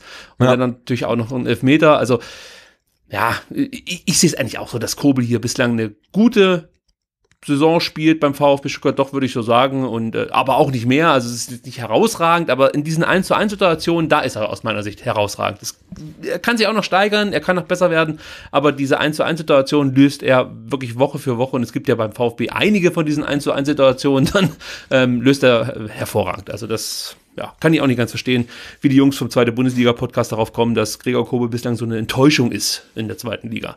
Da fallen mir schon Ich finde, der macht halt auch gerade diesen, diesen Spielaufbau im, im, im Walter-System gut, ne? weil er kriegt ja echt mhm. oft den Ball zurück von den Innenverteidigern oder ähm, und hat dann auch ein bisschen Druck, weil dann ihm der Stürmer irgendwie auf den, auf den Socken steht.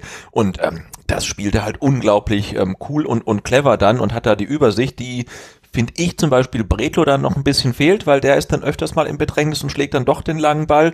Und das hat ähm, äh, Kobel vermutlich auch, weil man das einfach dann üben muss im Spiel, ähm, mittlerweile komplett verinnerlicht. Und ich habe da also keine Schweißperlen auf der Stirn, wenn er halt irgendwie im, im, im Fünfer angespielt wird und, und hat irgendwie zwei gegnerische Stürmer im 16er, sondern er findet halt immer dann seinen Mitspieler und, und spielt die Bälle präzise. Also ich bin da also von ihm ziemlich überzeugt, muss ich sagen. Ja, geht mir genauso. Guckt man noch ganz kurz auf die Abwehrspieler. Kempf ist natürlich außen vor, der ist gesetzt und macht seine Sache auch aus meiner Sicht sehr, sehr gut. Nathaniel Phillips hat jetzt wieder mal eine Chance bekommen, hat, glaube ich, auch ganz gut gespielt. Also der Elfmeter, okay, ja. Äh, ja, aber was soll er da machen, ne? Ja, also, also er kann laufen lassen und er ist halt wirklich, also dieser, der Bruchteil von einer Sekunde, weil ich dachte, auch erst, er wäre noch am Ball gewesen, aber dass diese, diese eine Bewegung, wo sich Kone den Ball noch mal einmal vorlegt, bevor ähm, Phillips ihn erwischt halt, ne? Und mhm. das ist halt genau dieser Punkt. Und wenn er das nicht macht, dann ist vielleicht Phillips sogar noch dran. Ähm, was ich noch gar nicht so genau gesehen habe, wie kam es denn da zum, zum, zum Ballverlust vorher eigentlich? Es war schon Kämpf, oder? Ähm, jetzt muss ich noch mal zurückspulen gedanklich. Nee, es war so, dass Stenzel, ja, Stenzel, ähm, ja, pass auf, jetzt muss ich noch mal überlegen. Also ich wollte jetzt nicht, nicht, nicht.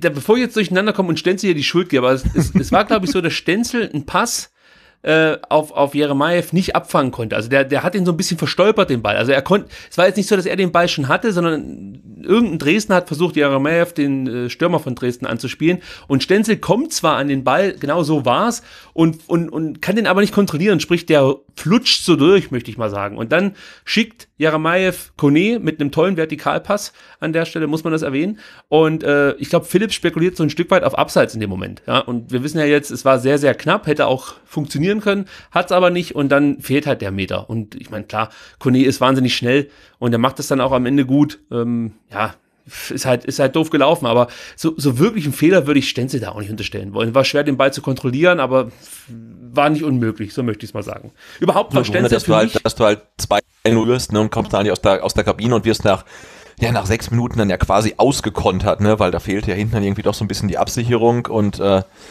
das ja. hat mich so ein bisschen, bisschen ähm, ich irritiert. fand jetzt auch Stenzel in dem Spiel nicht so stark wie zuletzt. Er hat auch nur 33 Prozent seiner Zweikämpfe gewonnen. Die Passquote war immer noch gut. Er hat aber weniger Ballkontakte.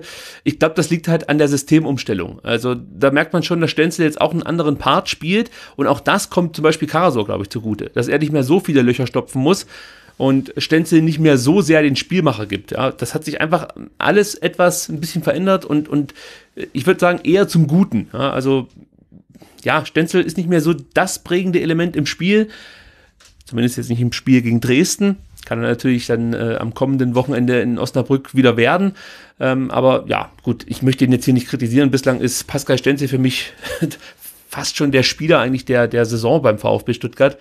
Äh, also ja, doch, also da bin ich eigentlich ganz zufrieden. Castro macht seinen Job als Linksverteidiger auch gut, besser als in Sua zuletzt, muss man sagen. Auch hier die Zweikampfquote nicht ganz so überzeugend. 33 Prozent gewonnene Zweikämpfe. Die Passquote im Vergleich zu Stenzel auch etwas schwächer. Aber gut, an und für sich ist das bislang der beste Linksverteidiger in der Saison beim VfB Stuttgart. Muss man leider so sagen, oder? Genau, ja. Und es ist der beste ähm, Castro in der Saison beim VfB Stuttgart. Finde ich überhaupt beim VfB Castro. ja, das also, ist irgendwie total tragisch, wie er sagt, irgendwie, ja, ich sehe mich da nicht unten. Aber ja, gut, wenn er es dann trotzdem so gut spielt, dann, ähm, ja, dann ist es halt so, ne? Ja, ich meine, das hat er ja auch äh, unter ich glaube, das war unter Weinziel, als er als Rechtsverteidiger ran sollte und auch relativ klar zum Ausdruck gebracht hat, die Zeiten sind vorbei, Homeboy, ich möchte nicht mehr als Rechtsverteidiger spielen. Er dachte sich weiter, ja, dann spielst du halt als Linksverteidiger. und äh, da meinte er jetzt, ich glaube nicht, ähm, dass wir mich in naher Zukunft da immer noch sehen. Ich hoffe nicht, dass ich da spielen muss. Ähm, das ist ja nicht meine angestammte Position, das weiß auch der Trainer, aber er weiß, er kann auf mich zählen. Und ähm, ja, also das finde ich jetzt auch dann okay und kann man natürlich auch von so einem erfahrenen Profi oder überhaupt von einem Profi verlangen, dass er da spielt, wo er eingesetzt wird. Und ich glaube, das macht Castro. Und wenn es funktioniert, warum nicht? Ich meine, immerhin ja, hat, profitiert er ja auch davon. Er darf spielen, er macht das gut, hat Erfolgserlebnisse und äh, ja, ist besser als auf der Bank sitzen ist es allemal. Wollte gerade sagen, weil es scheint ja gerade für ihn nicht die Alternative zu sein, entweder äh, Linksverteidiger oder auf der 6, sondern das scheint ja eher zu sein, äh, Linksverteidiger oder auf der Bank, weil äh, ja, Mangala, Karasor, ähm, Askasiba, ich glaube, die haben sich da jetzt echt schon so ein bisschen festgespielt. Ja. Und ähm, ist ein bisschen bitter halt für Emiliano Insua, weil der scheint ja jetzt wirklich so ein bisschen außen vor zu sein. Ist auch nicht zu Unrecht nach seinen bisher gezeigten Leistungen. Jetzt muss man mal abwarten. Ich glaube, ein Sosa ist auch schon wieder so leicht im Training zumindestens. Also ich denke, den, den, den sehen wir ja auf jeden Fall dann ähm, demnächst mal wieder. Und dann haben wir zumindest mal hinten links ähm, einen, einen Konkurrenzkampf, was ja auch ganz schön ist. Also Sosa läuft seit dieser Woche wieder. Muss man mal gucken, wie er das verkraftet. Was ich ein bisschen merkwürdig finde, dass die kroatische U21-Nationalmannschaft ihn nominiert hat für das nächste Länderspiel. Okay. Also da muss man das natürlich. Ist übernächste Woche dann schon, oder? Ja, genau. Da ja. muss man natürlich hoffen, dass der Verband hier davon absieht, den Spieler einzuziehen. Ähm, also ich, ich glaube, es würde Sosa jetzt gut tun, einfach in Ruhe sich mhm. vielleicht aufs Derby dann vorzubereiten und dann wieder von mir aus auf der Bank zum ersten Mal zu sitzen, weil ich ja. sehe jetzt momentan halt überhaupt keinen Grund, Castro als Linksverteidiger rauszunehmen. Selbst wenn Sosa jetzt wieder fit ist, ähm, bin ich der Meinung, macht es Castro so gut, dass man Sosa vielleicht erstmal auf der Bank lassen sollte. Und bei Insua, ich habe den ja auch letzte Woche wirklich harsch kritisiert, äh, aus meiner Sicht auch zu Recht. Aber man muss vielleicht hier bedenken, dass er wirklich eine, eine, sehr, sehr kurze Vorbereitung nur hatte, lange verletzt war und ähm, ja, bei einem älteren Spieler kann das natürlich viel ausmachen. Wir kennen das von Holger Bartschuber, der ja auch immer sagt, wenn ich nicht 100% fit bin und die Vorbereitung gut gelaufen ist, dann, dann kann ich nicht mithalten. Also dann fehlt mir halt einfach was. Ja. Und vielleicht ist es halt einfach bei Insua jetzt aktuell auch so, ja, dass dann die 5% fehlen und natürlich gegen Hamburg, gegen Jatta sind 5% dann einfach nochmal mehr als vielleicht gegen den anderen Spieler, ohne jetzt jemanden na zu nahe treten zu wollen. Und nee, weil ich glaube, dass, das. genau, dass äh, ähm, Gonzalo Castro jetzt ja auch nicht irgendwie ähm, um, um Lichtjahre schneller ist als Emiliano Insua, aber er hat es dann irgendwie dann doch besser ähm, hinbekommen halt, ne? was dann auch an der gesamten Mannschaftsleistung dann ähm, lag. Ein Tor wollen wir natürlich nicht unterschlagen, und zwar das von Silas Wamagituka, der eingewechselt wurde, ich glaube in der 83. Minute und äh, 21,65 Sekunden später dann einnetzt mit einem sehenswerten Tor. Und für ihn freue ich mich natürlich besonders, weil das ist schon so meine neue Hoffnung, fast schon meine neue Liebe. Ich war ja damals auch sehr verliebt in Osan Kabak, als er hierher kam und ja, sein ganzes Auftreten war halt geil. Ja. Weißt du, da kommt so ein junger Kerl hierher und äh, muss sein erstes Profispiel in München machen gegen Lewandowski und macht das auch noch richtig gut. Und äh, leider Gottes ist er natürlich jetzt hier äh, ja, dem, dem, dem Ruf des Reschke gefolgt. Mhm. Ja, und äh, ich habe schon ja, den Bock gehabt, wieder so ein junges Talent irgendwie hier beim VfB zu sehen.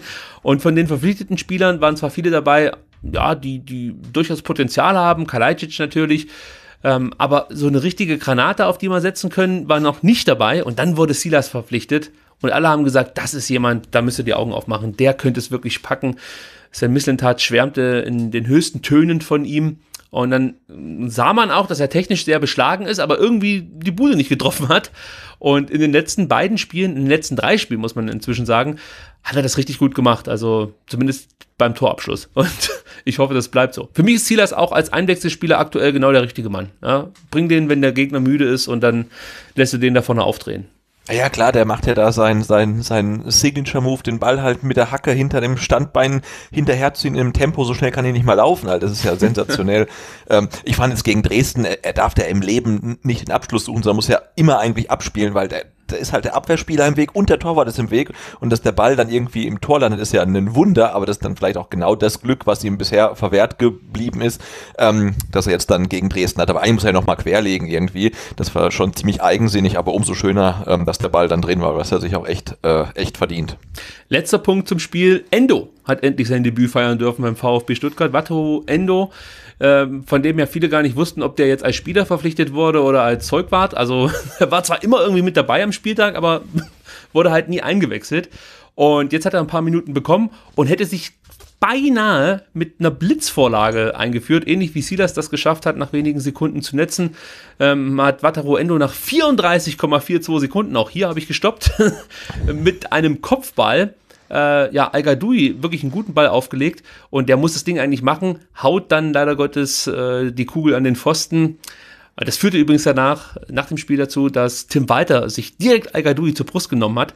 Ich habe das, ich hab das gespürt, dass Tim Walter sauer war wegen dieser Aktion. Der hat nämlich davor schon in Richtung al so ein bisschen geschimpft, als er ja, äh, ja aufs Spielfeld ging und sich äh, ja, mit den anderen Spielern und, und, und auch mit dem Trainer der Dresdner abgeklatscht hat. Und dann dachte ich zuerst, der macht nur Spaß, aber es, die haben sich auch relativ schnell wieder dann versöhnt. Es war jetzt kein großes Drama oder so, aber er hat ihm da schon noch mal ganz kurz den Marsch geblasen für diese Aktion. Und ähm, ja, war ein bisschen schade, weil das wäre natürlich auch eine tolle Geschichte gewesen, wenn der Joker Al Gadoui wieder geknipst hätte und auf der anderen Seite dann natürlich Wataru Endo mit seinem ja, Blitzeinsatz hier dann direkt auch noch ein Tor vorgelegt hätte. Ja, aber genau, insgesamt. Genau, Al macht halt nur die wichtigen Tore und das wäre halt ein unwichtiges gewesen, deswegen hat er es nicht gemacht. Nee, aber ich finde, ich, ich lasse da halt dann vielleicht den anderen Spielern an die Chancen liegen lassen, dass sie irgendwie dann nicht diese Torgeilheit haben. Die hat er auf jeden Fall. Ähm, aber das war einfach dann schlampig, ne? Weil er steht fünf Meter frei vom leeren Tor und trifft's halt nicht. Und das darf halt einfach nicht sein. Denn ich glaube, dem VfB und dem ganzen Team, dem wird's halt mal gut tun, so ein Spiel wie gegen Dresden einfach mal hoch zu gewinnen. Also jetzt ist es natürlich vermessen, äh, sich über ein 3 zu 1 zu beschweren, aber es war halt einfach ein Spiel, ähm, dass du, klar, die Dresden hatten die Chance auf 2-2, aber dass du als VfB natürlich auch locker 4-1, 5-1, 6-1 ja. gewinnen kannst. Und, und vielleicht brauchst du dieses Spiel auch mal, um dann, ja, mit einem nötigen Selbstvertrauen dann auch nach Osnabrück zu fahren. Ähm, und dieses, ähm, Erfolgserlebnis, das nehmen sie sich halt selber, indem sie halt diese hochkarätigen Chancen wirklich fahrlässig liegen lassen. Und das ist, äh, ist so ein bisschen schade. Sehe ich genauso wie du. Also du musst jetzt vor allem auch mal ein bisschen versuchen, was fürs Torverhältnis zu tun, denn da sah es ja vor dem Spieltag nicht allzu gut aus. Natürlich auch dem geschuldet, dass wir in Hamburg gleich mal sechs geschluckt haben. Aber ja, ich sehe es genau wie du. Du musst in der ersten Halbzeit vielleicht sogar 3-0 führen, in der zweiten Halbzeit deine Chancen nutzen. Förster hatte da hochkarätige Chancen und natürlich auch wieder Clement, Al Gadoui, wir haben es gerade eben schon gesagt. Also eigentlich musst du dieses Spiel höher gewinnen, aber unterm Strich bin ich einfach froh, dass wir das Spiel gewonnen haben, etwas Ruhe jetzt eingekehrt ist und Tim Walter weiter äh, in Ruhe arbeiten kann. Und da möchte ich natürlich auch nochmal meine Aufgeregtheit der letzte, letzten Woche ein bisschen entschuldigen. lässt man sich halt echt extrem schnell auch von anstecken, ja, weil ich habe es ja letzte Woche schon gesagt es geht mir nicht darum, dass ich den Trainer in Frage stelle, sondern ich habe mehr Angst davor, dass der Trainer in Frage gestellt wird. Also sprich, ich habe Angst vor der Unruhe. Und wenn ich merke, wie das abgeht im Stadion, auf Twitter, auf Facebook, äh, allgemein auch äh, ja im Blätterwald, so ja hier bei der lokalen Presse, da hat man schon das Gefühl gehabt, dass man so langsam, aber sicher sich darauf einstellt, dass man weiter jetzt mal dann, also online wurde er schon angezählt, aber auch so im journalistischen Bereich, dass man so langsam dahin übergeht, ihn zu hinterfragen und eben ja jetzt zu schauen, ist er wirklich der Richtige, macht das wirklich so viel Sinn, so zu spielen? Immer mehr diese Zorniger-Vergleiche wurden rausge rausgeholt. Aus meiner Sicht hinken die total. Also ich sehe da überhaupt keine Parallelen zwischen Zorniger und äh, Tim Walter, sind für mich zwei ganz andere Personen. Ähm, ja, und das hat mich halt einfach ein bisschen unruhig gemacht. Und dann habe ich ja auch diese, diese merkwürdige Beobachtung auf Twitter noch kundgetan, dass, dass die Mannschaft nicht mehr darauf reagieren würde, was, was der Trainer so macht. Jetzt im Nachhinein muss ich sagen, war natürlich alles Schwachsinn. Also, da, nee, ist so. Muss man ja dann auch dann zugeben können. War völliger Bullshit im Nachhinein. Das ist halt einfach so eine Aufgeregtheit, von der lässt man sich anstecken. Dann sieht man irgendwas. Mag ja sein, dass irgendein Spieler da keinen Bock jetzt auf weiter hatte. Ist vielleicht aber auch nicht verwunderlich, wenn es gerade 5-2 für die anderen steht. Also, ähm, ist jetzt auch nicht ja, so, so merkwürdig, dass ein Spieler sagt, Alter, geh mir nicht auf den Sack hier, wir haben das Ding eh abge abgeschenkt. Also ja, ich muss da. Ja, aber trotzdem muss man natürlich festhalten, dass wenn man ähm, als VfB Stuttgart in die zweite Liga absteigt ähm, und dann ist man dort Trainer und man verliert halt einfach drei Spiele in Folge und davon äh, zwei Heimspiele gegen Mannschaften, die auf dem Abstiegsrang ähm, stehen, dann ist das, ähm, wie soll ich es formulieren, quasi ein Abmahnungsgrund, würde ich jetzt mal, also das ist jetzt harsch formuliert, aber das, das, kann man schon so sagen. Ne? Das ist irgendeine Art Warnschuss und ja. ähm, der Pokalerfolg in Hamburg wäre komplett verpufft oder nutzlos gewesen, wenn man jetzt gegen Dresden nicht nachgelegt hätte, ne? weil hättest du jetzt nicht gewonnen, dann wärst du vier Spiele sieglos und äh, das hätte echt äh, das wäre dann unschön geworden einfach. Und das darf dir auch nicht passieren als VfB Stuttgart, nicht als VfB Stuttgart ähm, Trainer. Und insofern war dieser Sieg wirklich für mich eigentlich noch wichtiger als der Sieg jetzt im, im, in der Pokalrunde in Hamburg, weil das war jetzt echt so das Zeichen, okay, diese Niederlagenserie ähm, ist, ist beendet. Der VfB ist ähm, jetzt wieder in der Spur, das muss jetzt natürlich in den nächsten zwei Spielen beweisen und ähm, ich meine, aber heute hat ja auch ähm, Nürnberg seinen Trainer rausgeworfen, ähm, mhm. Mirko Slomka ist auch nicht mehr Hannover-Trainer, also da, da, sieht man ja, ne, die, die Absteiger äh, tu, tun sich schwer ähm, und es ist ähm, der VfB der Einzige, der noch ähm, an seinem Trainer ähm, äh, festhält, ganz traditionell. Ja, und auch zu Recht, gar keine Frage. Also Natürlich. Also das ist, es gibt ja. keinen Grund, da überhaupt den Trainer in Frage zu stellen. Und wie gesagt, mein Ding war ja, dass ich damals meinte, ja, irgendwie habe ich das Gefühl, dass die Mannschaft nicht mehr so 100% auf das hört, was der Trainer so sagt. Also das, das war meine Beobachtung. Ja. Und dann siehst du halt das Spiel ähm, drei Tage später im DFB-Pokal gegen Hamburg ja. und merkst, die Mannschaft möchte und äh, das ist für mich schon auch ein Zeichen, dass es innerhalb der Mannschaft stimmt und dass die Mannschaft auch bereit ist, dann den Weg mit dem Trainer weiterzugehen. Weil da gibt es ja auch andere Möglichkeiten. Wenn du jetzt nach München schaust, da, da können die Spieler dann schon klar machen, äh, mit dem Trainer möchte ich hier nicht unbedingt mehr weiterarbeiten. das haben wir auch äh, in, in, Stuttgart ähm, schon das ein oder andere Mal er, erleben können. Nee, und auch die, die, wie gesagt, die Anfangsphase jetzt ähm, im Spiel gegen Dresden hat ja ganz klar gezeigt, okay, die die wollen halt, ne? Und, und das ist schön auch. zu sehen und, und es gibt ja Hoffnung. Das muss man immer wieder betonen, dass auch Tim Walter hier sich lernfähig gezeigt hat. Auch wenn er vielleicht jetzt behauptet, wir machen immer noch das gleiche wie früher, nur stehen von mir aus kompakter oder machen nicht so viele individuelle Fehler. Mag alles sein, aber trotzdem hat er sein System angepasst. Und zwar, äh, ja, hat er das Ganze jetzt kompakter gestaltet und geht etwas konservativer an die Sache ran. Das ist einfach so. Punkt. Gut. Punkt. Ja, bin ich, bin ich, bin ich, bin ich voll und ganz bei dir. Und ich glaube auch, ähm, ich versuche jetzt nebenbei kurz die Spieldaten zu öffnen. Man sieht ja auch, also je, ähm, je schlechter eigentlich so die, die Statistiken für den VfB werden, desto besser wird das Spiel, ne? Weil wir hatten ja bislang immer Ballbesitzquoten in Heimspielen, die lagen irgendwie um die 80 Prozent oder so. Ja, äh, Ballbesitz, Ballbesitz ist ein bisschen schlechter geworden, aber die Pässe finde ich da viel aussagekräftiger. Also wir spielen weniger Pässe. Das ist für genau. mich. Genau. Also wir hatten ja, ja ne, gegen, gegen Wien Wiesbaden waren es ja, ich versuche es jetzt zu memorieren, aber 800 zu 200 Pässe oder so. Also Wiesbaden Und, hatte weniger. Wir hatten, glaube ich, an die 900 in Wiesbaden unter 100. Also ich weiß, Pascal Stenzel hatte, hat mehr Pässe gespielt als wir in Wiesbaden. Ja. Das, das, war so, also Fakt. Und ähm, jetzt hat man halt gegen Dresden 566 Pässe gespielt und die Dresden hatten 385. Also Jetzt war Dresden natürlich auch ein Team, das sich nicht komplett hin reingestellt hat, muss man dazu sagen. Ähm, aber man hat irgendwie, glaube ich, dieses Dogma des Ballbesitzes und dieser ähm, unfassbar vielen gespielten Pässe so ein bisschen aufgeweicht und spielt dann vielleicht doch mal eher ähm, einen Pass in die Tiefe, was dem Spiel einfach bisher gefehlt hat. Und das hat man ja, finde ich, relativ deutlich gesehen, dass das Spiel schneller wurde, weil ähm, viel mehr Vertikalbälle einfach ähm, eingestreut wurden. Ja, die Mischung, die Mischung passt besser. Also das, genau was du gesagt hast. Die Pässe äh, wurden zwar weniger, aber du hast mehr Tempo in den Aktionen. Die Flanken sind besser geworden, muss man auch sagen. Äh, da kommen jetzt seit inzwischen ja, einen guten Drittel an. Und ich erinnere mich da, zu Beginn der Saison hatten wir da Werte um die 10 Prozent ja, und ja. trotzdem 13, 14, 15, 20 Flankenversuche. Äh, mit den Dribblings, finde ich, geht man ganz gut um. Also da werden immer mal wieder Dribblings angesetzt, auch durchgebracht. Jetzt in dem Spiel auch wieder 8. Das ist ein relativ guter Wert. Also man merkt einfach, dass es insgesamt nach vorne eine Entwicklung gibt und die wurde ja auch eingefordert von vielen Fans. Also es ist ja immer, bei weiter sieht man keine Entwicklung im Vergleich zum Hannover-Spiel. Ich finde, man erkennt diese Entwicklung in den letzten beiden Spielen. Jetzt muss es natürlich weitergehen, beziehungsweise bestenfalls äh, sich noch verbessern ähm, und, und, und die Tore dazukommen. Dann ja, sieht das schon ganz gut aus, glaube ich.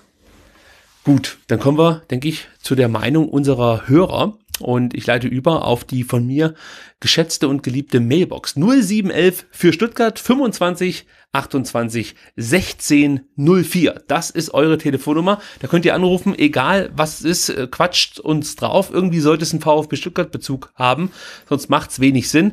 Ich habe äh, nach dem DFB-Pokalspiel und auch nach dem Spiel gegen Dresden nicht dazu aufgerufen, hier anzurufen. Trotzdem hat der ein oder andere äh, gedacht, Mensch, doch rufe ich einfach an. Und das zu Recht. Das ist äh, absolut richtig so.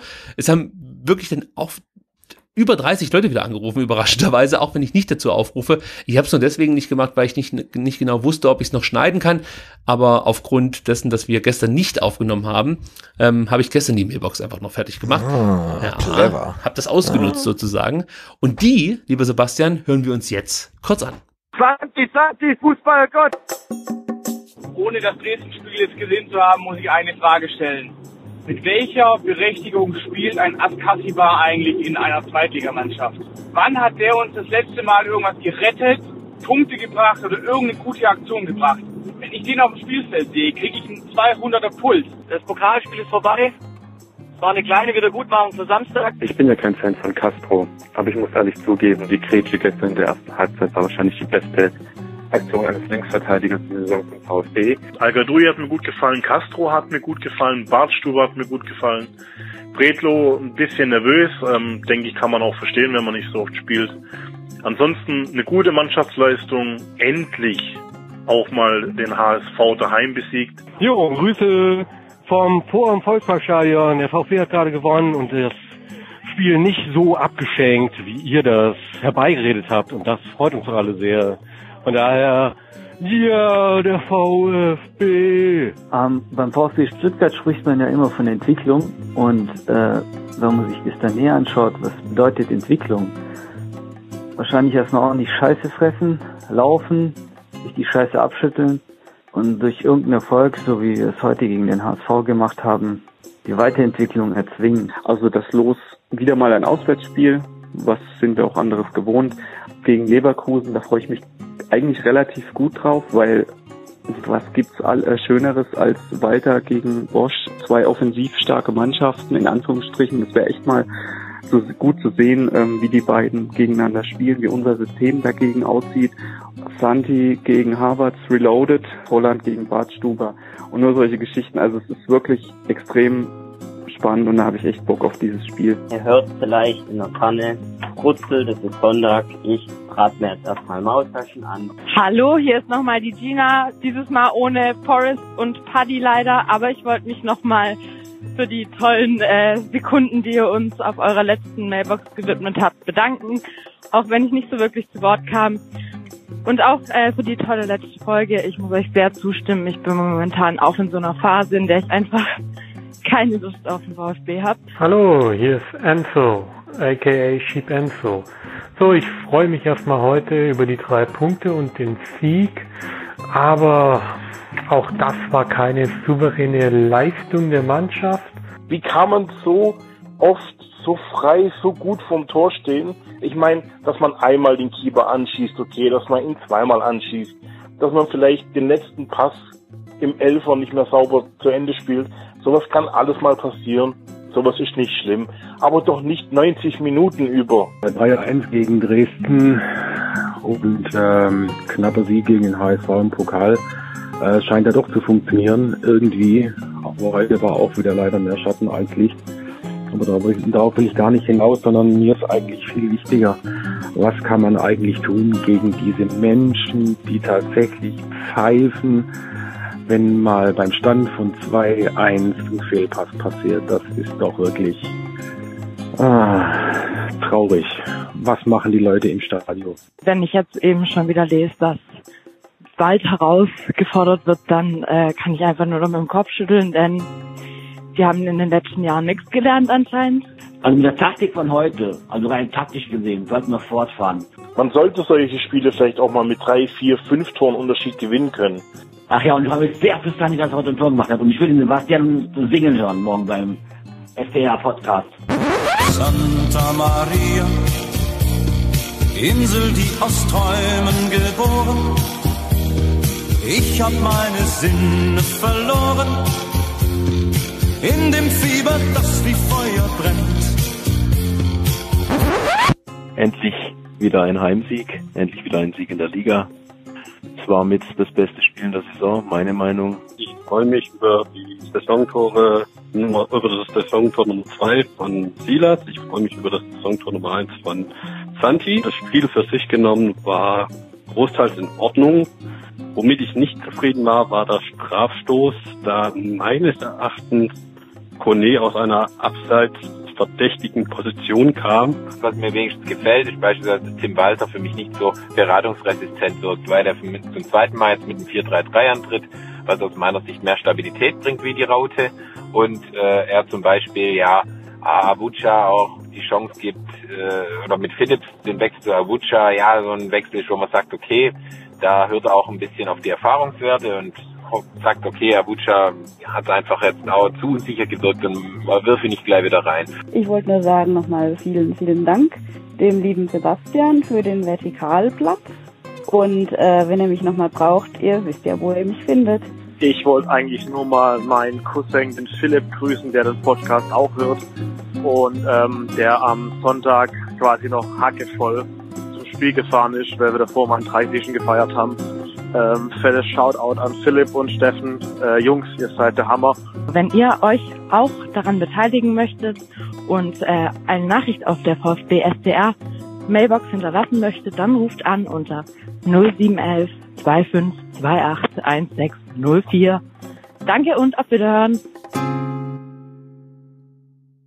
Das war die Mailbox für diese Woche und ihr habt's gehört, ja, es gab zu Beginn der Mailbox kritische Stimmen in Richtung Santiago Ascasiba, die muss ich natürlich unbedingt mit reinschneiden, auch wenn der Herr, der da angerufen hat, nicht wusste, dass Santi so eine Art Matchwinner wird im Spiel gegen Dresden. Sebastian, als du diese Kommentare ja, über Santiago Ascasiba gehört hat, hast, äh, was ist dir da durch den Kopf gegangen? Also ich dachte, ich glaube immer noch, er hat das ironisch gemeint.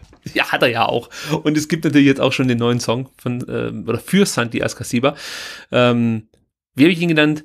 Santi grätscht wieder. Aber wir verschonen euch jetzt mit Gesang. Ihr habt es ja von gehört, Roland Kaiser, Santa Maria, Santi grätscht wieder. Mal gucken, genau, weil ich glaube, wenn wir jetzt anfangen, oder wenn ich jetzt anfangen würde zu singen, dann ähm, wird äh, Unity Media die, die neu ähm, etablierte Leitung sofort wieder kappen. Ja, und wenn die es nicht machen, dann nicht. So. da gehe ich von aus. Gut, dann äh, wurden mir mehrfach Kommentare, Sky-Kommentare geschickt, äh, so ist es richtig. Und zwar hatten mehrere Leute die Idee, den Sky-Kommentar aufzunehmen, als das 2-1 in Hamburg fiel durch Hamadi Al-Gadoui. Zum einen hörte man das äh, ja in der Aufnahme nicht allzu gut, muss ich ganz ehrlich gestehen. Und zum anderen weiß ich gar nicht, wie das rechtemäßig ist, wenn ich da Sky vorwurschte. Nicht, dass wir da was zu befürchten haben. Deswegen danke für die vielen Anrufe, die mir die Sky-Kommentare zur Verfügung stellen wollten. Aber ja, da äh, habe ich ein bisschen Angst gehabt. So, dann muss ich auch noch sagen, es gab Anrufe aus der Kurve in Hamburg und auch aus Stuttgart. Das ist auch so ein Problem, denn offensichtlich äh, können diese neuen Telefone nicht gut mit Fangesängen umgehen. Also man hört dann wirklich in der Aufnahme rein gar nicht. Sebastian, du hast es ja auch schon mal angehört. Mhm. Man hat so irgendwie das Gefühl, dass äh, jemand versucht, Fangesänge aufzunehmen, aber gefühlt auf dem Cannstatter Vasen steht und eben dann von dort aus versucht, äh, die Cannstatter Kurve aufzunehmen. Es ja, ich glaube, sobald es zu laut wird, äh, machen die, die, die Mikrofone irgendwie dicht. Ne? Ich habe es auch ja. mal mit, mit, mit äh, äh, Videos ähm, ge gehabt äh, mit dem iPhone ähm, aus, der, aus, aus dem Blog und wenn es dann einfach zu laut ist, dann, dann machen die komplett dicht und hat man nur noch so ein dumpfes Grummeln irgendwie und dann hat das leider gar keinen Wert mehr. Also da äh, müssen wir leider von abgehen, obwohl mir das sehr gut gefallen hat. Ich glaube, die Kesselhelden hat es mal ganz hervorragend hinbekommen. Es war aber bislang der einzige Anrufer, der es geschafft hat, Fangesänge äh, in Top-Qualität hier auf der STR-Mailbox abzuliefern. 0711 für Stuttgart 25 28 16.04 Ihr könnt es natürlich auch diese Woche aus Osnabrück versuchen. Ja? Also der Versuch ist weiterhin erlaubt. Ähm, aber wenn es dann nicht in der Sendung landet, beziehungsweise nicht in der Mailbox, dann liegt es nicht daran, dass wir eure Fangesänge nicht mehr möchten, sondern dass wir sie einfach nicht richtig hören. So ist es. Dann bedanken wir uns natürlich bei der Gina, die die Telefonnummer endlich mal gebührend hier angesagt hat und äh, der auch nicht ins Wort gefallen wurde vom Forrest oder vom Paddy, wobei ich glaube, der Paddy hat sich auch zurückgehalten. Es war ja der Forrest, der viel erzählen wollte. den müssen wir vielleicht mal in die Sendung einladen, dass ja. der hier mit uns über den VfB spricht. Ja, oder übers Angeln. Ist ja auch ein begnadeter Angler, habe ich mir sagen lassen. Wäre das was, Sebastian? Hast du Interesse am Angeln? Äh, ich weiß nicht. Vielleicht. schon überlegt, dann glaube ich eher nicht. Und äh, wir wollen ich will, da, ich, will da, ich will da jetzt das nicht zu ähm, barsch zurückweisen. Ah, sehr gut. Und ähm, ja, gut, dann würde ich sagen, belassen wir es auch hier an der Stelle bei, bei der Mailbox. Das meiste, über das auf der Mailbox gesprochen wurde, haben wir ja auch schon abgearbeitet. Da ging es natürlich hauptsächlich um Dresden und um das DFB-Pokalspiel gegen den HSV, wie man so schön sagt. Und ähm, wir gucken auf unseren nächsten Gegner. Das ist genau, wir können uns noch ganz kurz, ich möchte mich noch ganz kurz ähm, bei der äh, ähm, Annette bedanken, die ja diese ähm, gegen Dresden auf dem Vertikalplatz äh, saß und ihre ähm, Sache weitaus besser gemacht hat als der Ralf. Also der konnte auch nichts dafür, der war ähm, gegen Kiel auf dem Vertikalplatz, aber äh, sie hat jetzt für drei Punkte gesorgt und wenn es dann wirklich mal wieder ähm, ja irgendwie spitz auf Knopf zugehen sollte und wir brauchen unbedingt ähm, drei Punkte, dann denke ich, ähm, werde ich das Ticket wieder ihr übergeben, ähm, damit sie dann ähm, den, den VfB zum, zum Heimsieg bringt im äh, Maxim-Trikot. Es hat wunderbar funktioniert. Also, dann ähm, hoffe ich, dass sie schnell wieder Platz nimmt auf dem Vertikalplatz, äh, um halt dann weiterhin erfolgreich zu Hause zu sein. Gut, dann kommen wir jetzt aber zu unserem nächsten Gegner und das ist der VfL Osnabrück, eine Mannschaft, die ich irgendwie ins Herz geschlossen habe, muss ich ganz ehrlich sagen. Also äh, ich, ich, ich finde die Bremer Brücke, das Stadion einfach in Osnabrück sowieso schon immer interessant und habe mir dann, glaube ich, am dritten Spieltag auch gleich mal ein Montagsspiel reingepfiffen gegen Darmstadt und die Stimmung ist ja fantastisch da vor Ort. Ich finde den Fußball, den die Jungs spielen, sehr interessant. Ich mag den Trainer Daniel Thune. Ich glaube, das ist jemand, den könnten wir in den nächsten drei, vier, fünf Jahren dann auch mal in der Bundesliga sehen. Zumindest in der Spitze der zweiten Liga sehe ich den schon. Wird wahrscheinlich schwierig, das mit Osnabrück zu schaffen, aber also Daniel Thune ist jemand, den muss man auf dem Zettel haben für die Zukunft. Sehr interessanter Trainer. Und auch die Mannschaft an und für sich ist relativ gut. Auch wenn Osnabrück in der Tabelle nur auf Platz 15 steht, haben sie eine sehr, sehr gute Abwehr für so einen Abstiegskandidaten, wenn man das jetzt rein auf den Tabellenplatz beziehen möchte. Erst zwölf Gegentore, damit äh, ja die zweitwenigsten. Nur der HSV hat weniger kassiert. Sandhausen hat, glaube ich, auch erst zwölf kassiert. Also das ist schon ein Markenzeichen dieser Mannschaft. Man trifft da nicht allzu oft. Und ähm, ja, gut, sie haben natürlich nach vorne hin leichte Defizite, da könnten ein paar mehr Tore rausspringen. Ich glaube, da haben sie erst 13 geschossen.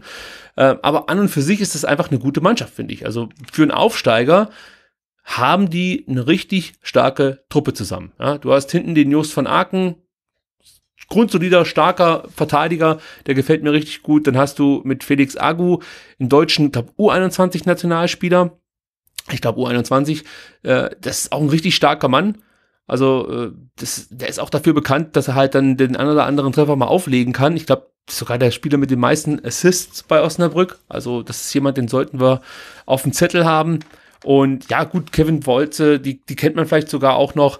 Du hast mit Moritz Heyer einen Spieler, der ja vielleicht auch sogar noch das ein oder andere Tor mehr machen könnte. Also das sind schon insgesamt einfach gute Leute, die da im Kader stehen. Einen möchte ich natürlich noch hervorheben, und zwar den besten Torschützen der Osnabrücker, äh, Marcos Alvarez, der, ich glaube, zu Beginn der Saison äh, irgendwie so da ein bisschen mit haderte, dass er nicht allzu viele Spiele von Beginn an machen konnte, sich dann aber durch gute Leistungen ja, die Mannschaft gespielt hat und jetzt seinen Stammplatz sicher hat, auch schon insgesamt fünfmal getroffen hat in der Zweitligasaison. Das ist jemand, auf den sollten wir aufpassen. Ja, auch wenn er jetzt nach langer Torflaute. Ich glaube, er hat am fünften Spieltag getroffen, zweimal gegen Karlsruhe, genau, ich sehe es gerade. Und dann äh, viele, viele Spiele nicht und jetzt erst zuletzt gegen Jan Regensburg wieder ein Tor geschossen. Äh, aber das ist trotzdem so der, für mich der gefährlichste Offensivspieler der Osnabrückler, zusammen eben dann mit dem jungen Talent, muss man ja sagen, Felix Agu. So. Dass du dich ja so gut auskennst und ich mich so gar nicht auskenne mit Osnabrück, ähm, aber mal wieder den Kicker vor mir liegen habe und ich sehe bei Osnabrück ähm, auf der rechten Offensivseite ähm, spielt jemand, der heißt Uahim. Ja. Und der ist ähm, laut Kicker der viertbeste Spieler der Liga. Also von allen Spielern. Was weißt du denn über ihn? Ja, der Doch, hat, ich, so. ersten also ich habe hier die, Nein, Ja, nein, ja. äh, generell über die ganze Saison. Ich habe hier die Top-Feldspieler. Ähm, Platz eins ist ähm, Mats Möller-Dali. Platz zwei ist ähm, Fabian Klos. Ähm, Platz drei ist Adrian Fein vom HSV. Und Platz vier ist dann eben jener Uahim. Also der ist mir nur durch seine starke Anfangsphase, möchte ich so sagen, äh, bekannt. Also weil er halt im ersten Spiel dann gegen Heidenheim gleich ein Tor gesch geschossen hat, dann beim tollen Spiel gegen Darmstadt auch eine gute Leistung gezeigt hat. Und dann ist er bei mir so ein bisschen aus, aus dem Gedächtnis raus und auch aus dem Sichtfeld. Also ich glaube, er war auch mal verletzt oder so zwischenzeitlich. Bin mir aber nicht 100% sicher. Aber äh, ich, ich habe den so abgespeichert als guten Beginn und danach solide. So. Ich meine, jetzt beim 3 zu 3 in Regensburg hat er auch eine Note 4,5 bekommen, aber der, der, der scheint ja dann schon Qualitäten zu haben und das ist ja dann auch wieder die, die rechte Angriffsseite, ähm, ja, gegen die sich dann wahrscheinlich dann irgendwie Gonzalo Castro behaupten muss, was dann vielleicht auch ähm, spannend werden könnte. Mal gucken. Ja, das ist ein guter Punkt. Ja, ja, das, das, das sehe ich ähnlich wie du. Also Heider ist da vielleicht auch noch zu nennen. Der kann, glaube ich, auch über Außen eingesetzt werden. Mark Genau, der Heider. hat jetzt irgendwie zentral gespielt, aber zwei Tore geschossen. Hm, ja. Ja. Also der ist natürlich schon etwas älter, vielleicht äh, passt das dann von der Geschwindigkeit, weiß ich nicht. Aber das, sag mal so, ich, ich habe jetzt gar nicht so große Angst vor der Offensive, eher vor der Defensive, weil ich glaube nicht, dass wir die irgendwie 3-4-0 abschießen oder so. Mhm. Du schießt nicht viele gegen, äh, du schießt nicht viele Tore gegen Osnabrück. Das ist so mein Gefühl. Wir haben einen Vorteil, wir können da Samstagmittag spielen. Das fühlt sich halt wirklich immer an wie so ein Jugendspiel, wenn, wenn, wenn Spiele 13 Uhr angepfiffen werden an einem Samstag. Ähm, und ich glaube, das ist echt wichtig, wenn du auswärts spielst, also sprich an der Bremer Brücke, äh, da möchtest du kein Flutlichtspiel bestreiten müssen. Oh nee, ja. es sind einfach 10% mehr, die die Spieler da offensichtlich dann noch äh, dem Spiel zutragen können. Also das ist schon frappierend, was diese Zuschauer für eine, für eine Wirkung erzeugen können. Also das ist schon irre. Von daher bin ich da ganz froh. Und du musst halt irgendwie möglichst schnell in Führung gehen. Ansonsten wird das eine zähe Angelegenheit. Also ich glaube nicht, dass wir die, dass wir die abschießen da in Osnabrück. Ich hoffe, dass uns ein Tor gelingt. Es wäre jetzt auch so meine Tendenz, dass wir vielleicht 1-0 gewinnen oder 1-1 äh, spielen. So in die Richtung geht eher mein Tipp. Ich bin da eher etwas verhalten. Ja? Okay. Also ich sehe jetzt da kein, kein großes Schützenfest, hoffe aber drauf. ja, ansonsten habe ich auch nicht allzu viel weiter beizutragen zu Osnabrück, aber Ja, ist, Ist- äh, ist sicherlich nicht das, das einfachste Auswärtsspiel der Saison, das kann man mal festhalten. Kann man festhalten. Man muss übrigens auch aufpassen, was, was, was Freistöße und so anbelangt. Also die haben ein paar gute Schützen, ein paar gute Freistoßschützen. Also da muss man aufpassen, dass man nicht allzu blöde Freistoßpositionen ähm, ja, äh, den, den Osnabrückern schenkt. Und ähm, ihre größte Schwachstelle aus meiner Sicht ist wirklich, wenn sie, wenn sie Konter verteidigen müssen. Also sie sind in der Defensive stark, aber nicht so schnell. Ja, Problem ist natürlich, dass wir vermutlich nicht allzu oft in die Situation kommen, dass wir kontern können. Aber was ich, was ich mir schon denken würde, ist, dass wenn wir ein ähnliches Tempo vorlegen wie in der ersten Halbzeit in Dresden, dass dann die Abwehrreihe schon Probleme bekommen wird. Und ähm, ja, da muss man halt mal gucken, was da das Mittel der Wahl ist. Flanken ist so eine Sache, kommt drauf an, wer bei uns vorne drin spielt. Und äh, ansonsten sehe ich halt schon gute Möglichkeiten, dann von mir aus auch mal aus, aus, aus 16 Meter oder so abzuziehen. Gerade so ein Clement, der ist jetzt einfach fertig. Ja, das Ja. ist dann schon ein Mittel. So. Ansonsten äh, kann ich nicht allzu viel zum Thema Osnabrück beitragen, außer dass ich mich auf dieses Spiel wahnsinnig freue. Ja, also, Mhm. Ja, ist vielleicht nochmal so ein, ein Härtetest, ne? Und, äh, ja, ja, ja. Und auch ein Charaktertest irgendwie, weil es wird sicherlich äh, ja nicht äh, kein, kein schönes Auswärtsspiel für die VfB-Spieler. Da ja muss man echt dann Zähne zusammenbeißen, Leistung bringen, ähm, Druck machen und so weiter. Also das wird, glaube ich, echt so so ein Charaktertest und dann gerade mit Hinblick auf die Länderspielpause die Woche drauf und dann das Derby danach ist es halt ah, kein kein unwichtiges Spiel. Ja, also verlieren solltest du es nicht, sonst hast du gleich wieder Druck im Derby. Du hast es schon angesprochen, aber ja, also ich, ich gehe davon aus, dass wir mindestens einen Punkt holen und ähm, ja, ein Dreier ist möglich. Brauchen wir vielleicht auch ein bisschen Spielglück, aber vielleicht, ja. Ja und sogar und ähm, Santias Casiva als Torschütze. Ja, also davon gehe ich aus, dass wenn ein Tor fällt, dass das Santi machen wird. Auf jeden Fall, jetzt wo es läuft, Ja, keine ja. Frage. Ketchupflasche und so, ja. Apropos läuft, ja. Du hast ja zu Beginn unseres Stadtelf-Tipps immer mal wieder gesagt, Mensch, ja, du hast ja eh wieder gewonnen und jetzt, ich komme ja gar nicht mehr hinterher. Das Blatt hat sich komplett gedreht, lieber Mhm. Sebastian. Ja, die letzten zwei Spieltage, da hast du mich wirklich platt gemacht, anders kann ich nicht sagen. DFB-Pokalspiel, zehn von elf Spielern richtig vorhergesagt, ich nur sieben. War- Ja, weil du mich mit deinem blöden Copper-Keeper nämlich in die Irre führen wolltest. Ja. Und ich bin drauf reingefallen und dann hat Tim Walter das nämlich doch so gemacht, nachdem ich ihn angerufen habe.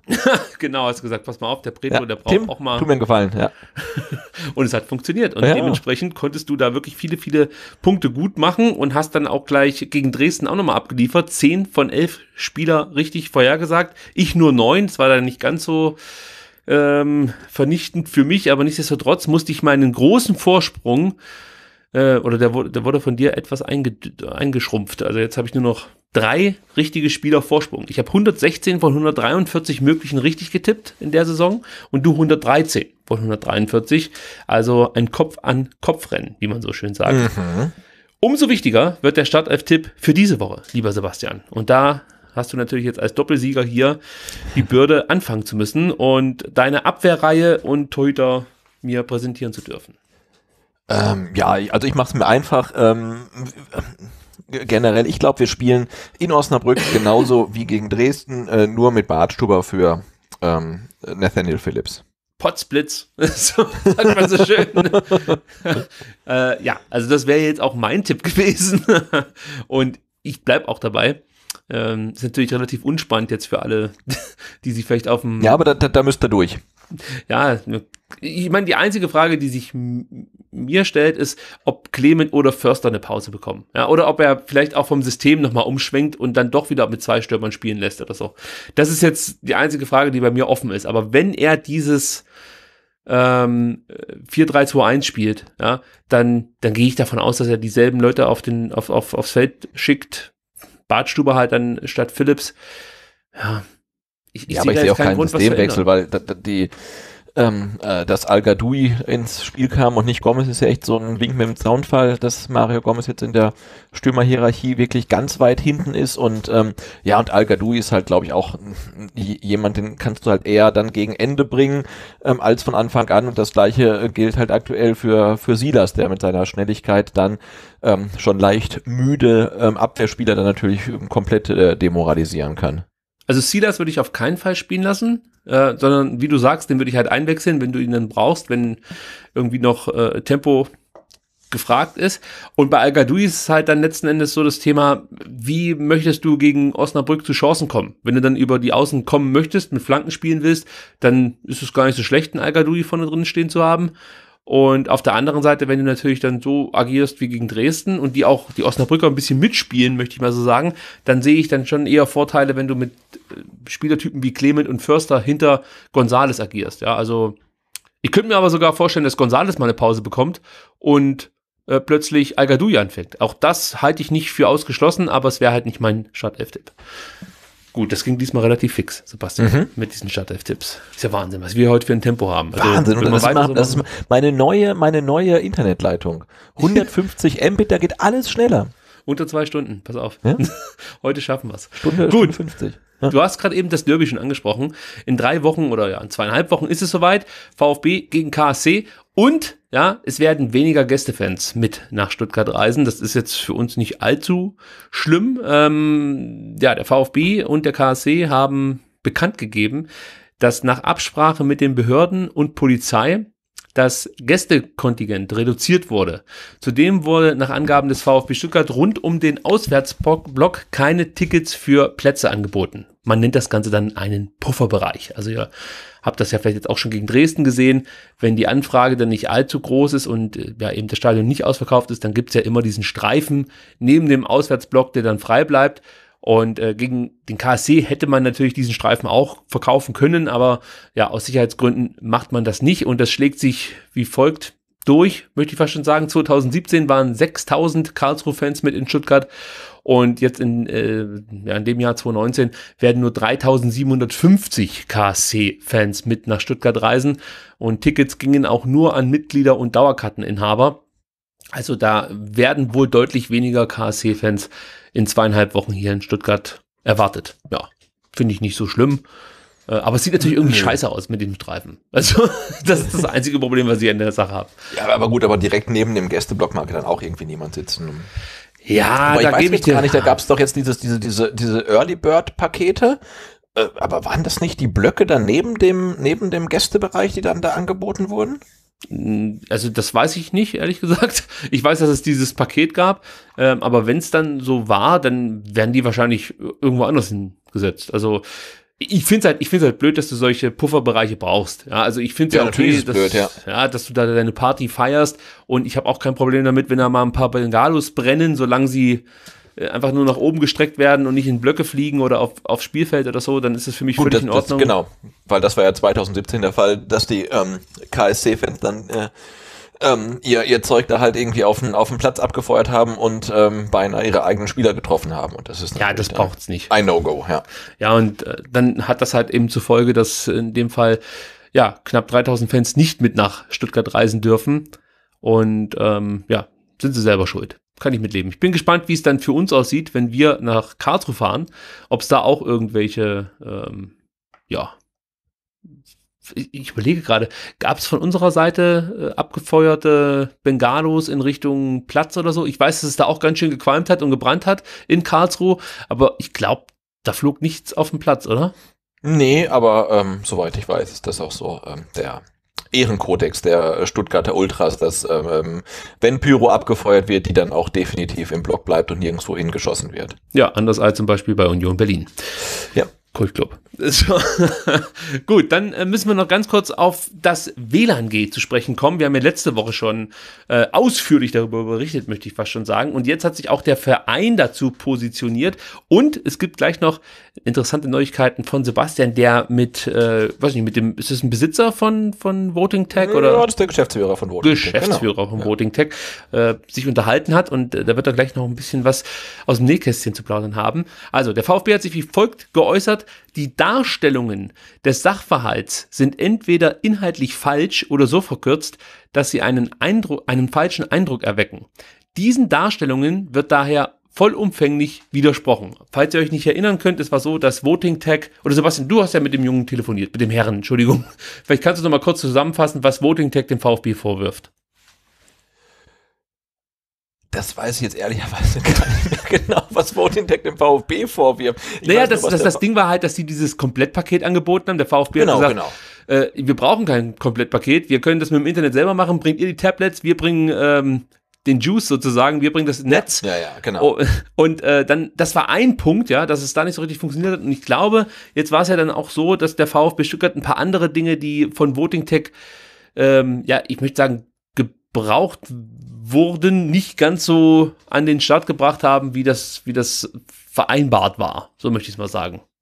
Genau, also ich hatte ähm, die, die Gelegenheit, mit dem, äh, mit dem Geschäftsführer von Voting Tech zu telefonieren am, äh, am Freitag, der bei uns ja Feiertag war, aber in Berlin, wo die Firma sitzt, dann glücklicherweise nicht und dann ähm, konnte ich mich mit ihm unterhalten und das war auch wirklich sehr interessant.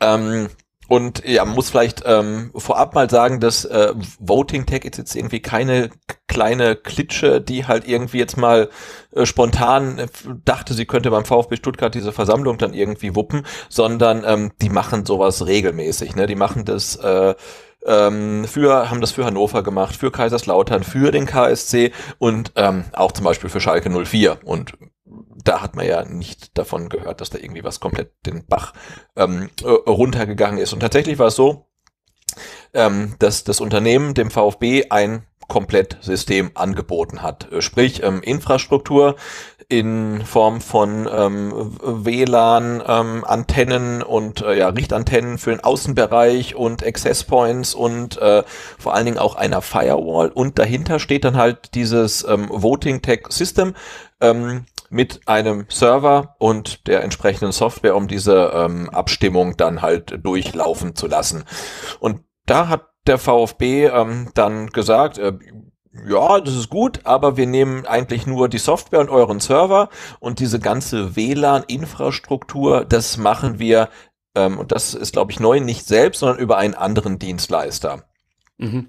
Und insofern ähm, wurde dann ähm, der, diesem, dem Unternehmen Voting Tech quasi am Tag der Abstimmung eigentlich nur ein Platz zugewiesen äh, für ihren Server und hat gesagt, irgendwie stöpselt euch da ein und ähm, dann läuft das halt. Und ähm, ja, und das äh, lief dann ja, wie wir mittlerweile wissen, nicht äh, wirklich. Und ähm, genau, der Geschäftsführer von Voting Tech ähm, äh, sagt aus seiner Sichtweise äh, liegt es an einer fehlenden Firewall, weil die wäre Bestandteil seines Komplettsystems gewesen ähm, und die hat vermutlich gefehlt um diese vielen Anfragen ähm, übers WLAN quasi irgendwie so ein bisschen ähm, abzupuffern, weil er sagt, er war zum Beispiel, der Server war ja über ein Kabel die ganze Zeit verbunden und da lief die ganze Zeit alles einwandfrei. Also über, übers Kabel ging's, aber übers WLAN ging's nicht und vermutlich fehlte einfach diese, diese Komponente der Firewall, also so ein ganz klassisches äh, Schnittstellenproblem. Ne? Du nimmst nicht eine Lösung von einem Anbieter,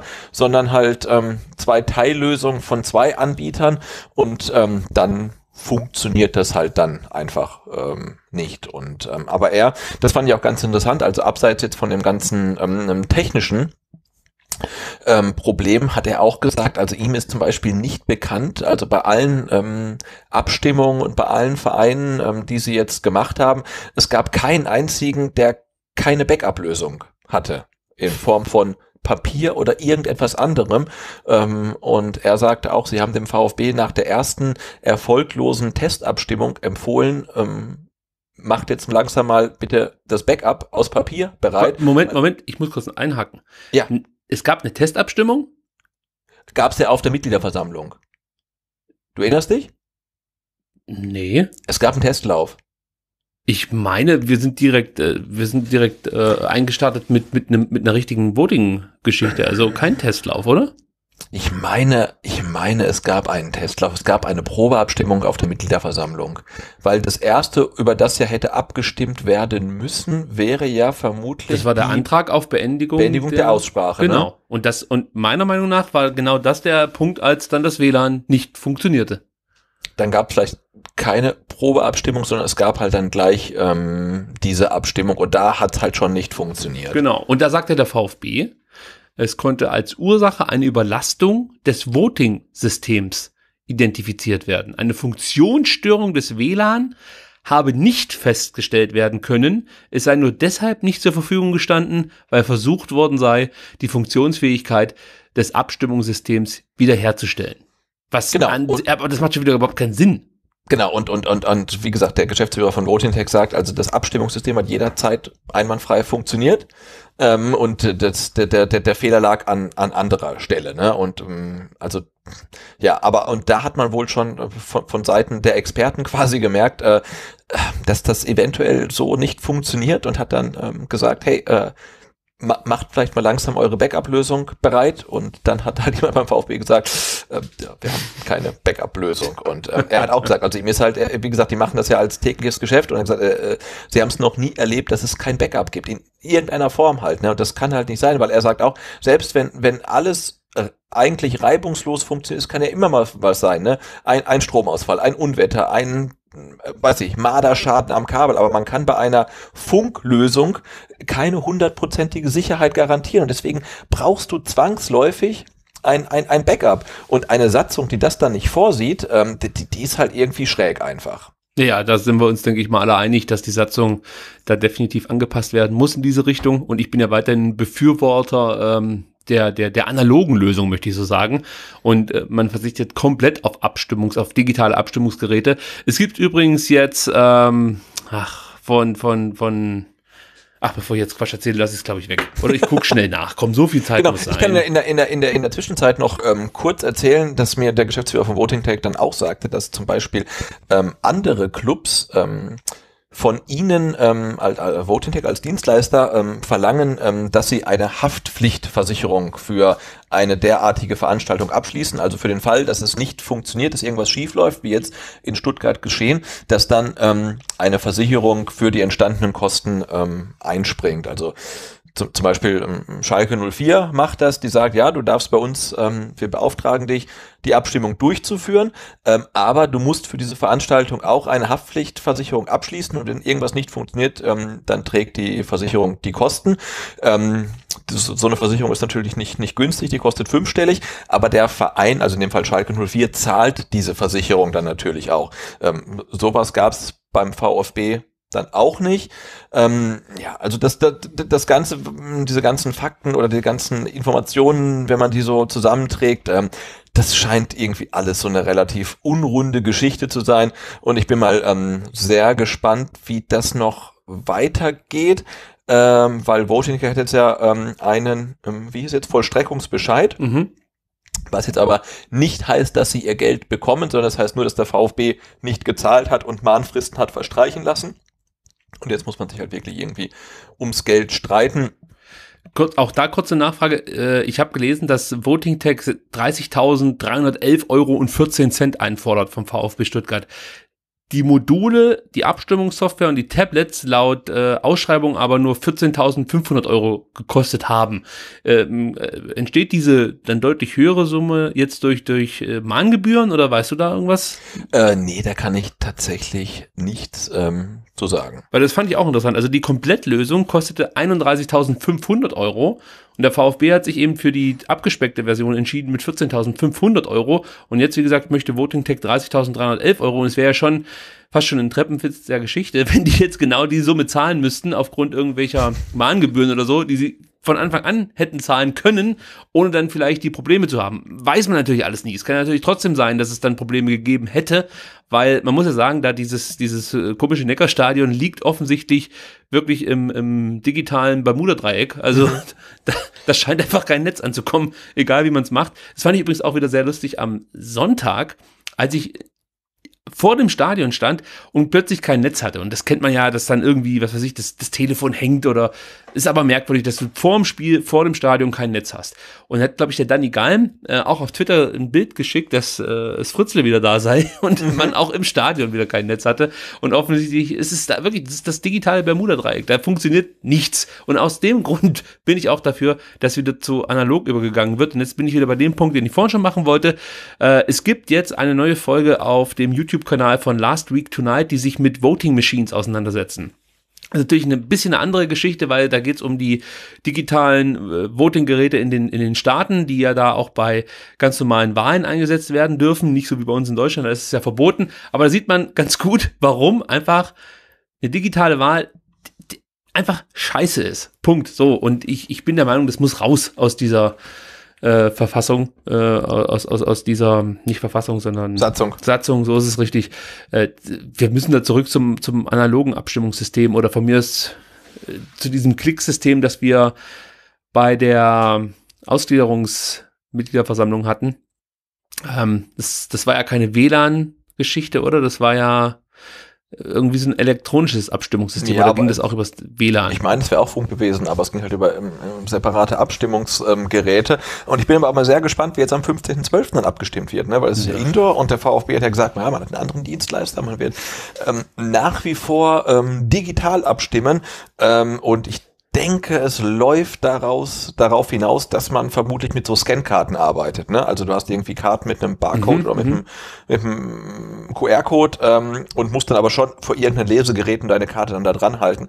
Das kann man natürlich als digital verkaufen. Eigentlich ist es analog, weil du kannst die Karte auch genauso gut reinschmeißen, nur dass halt in Echtzeit quasi ausgezählt wird. Ähm, aber ich glaube, wir werden äh, am 15.12. keine ähm, Abstimmung per WLAN erleben. Aber ich bin mal gespannt. Ich bin auch mal gespannt, wie das WLAN geht ähm, vom 15.07. irgendwie ähm, ausgeht, weil also ja, er hat mir wirklich ähm, viel erzählt und es war sehr interessant ähm, davor und danach und äh, ja, das, das ganze Ding lief halt echt überhaupt nicht rund und ähm, nicht so, ähm, wie man es eigentlich erwarten müsste ähm, von einer Mitgliederversammlung mit ein paar tausend Leuten.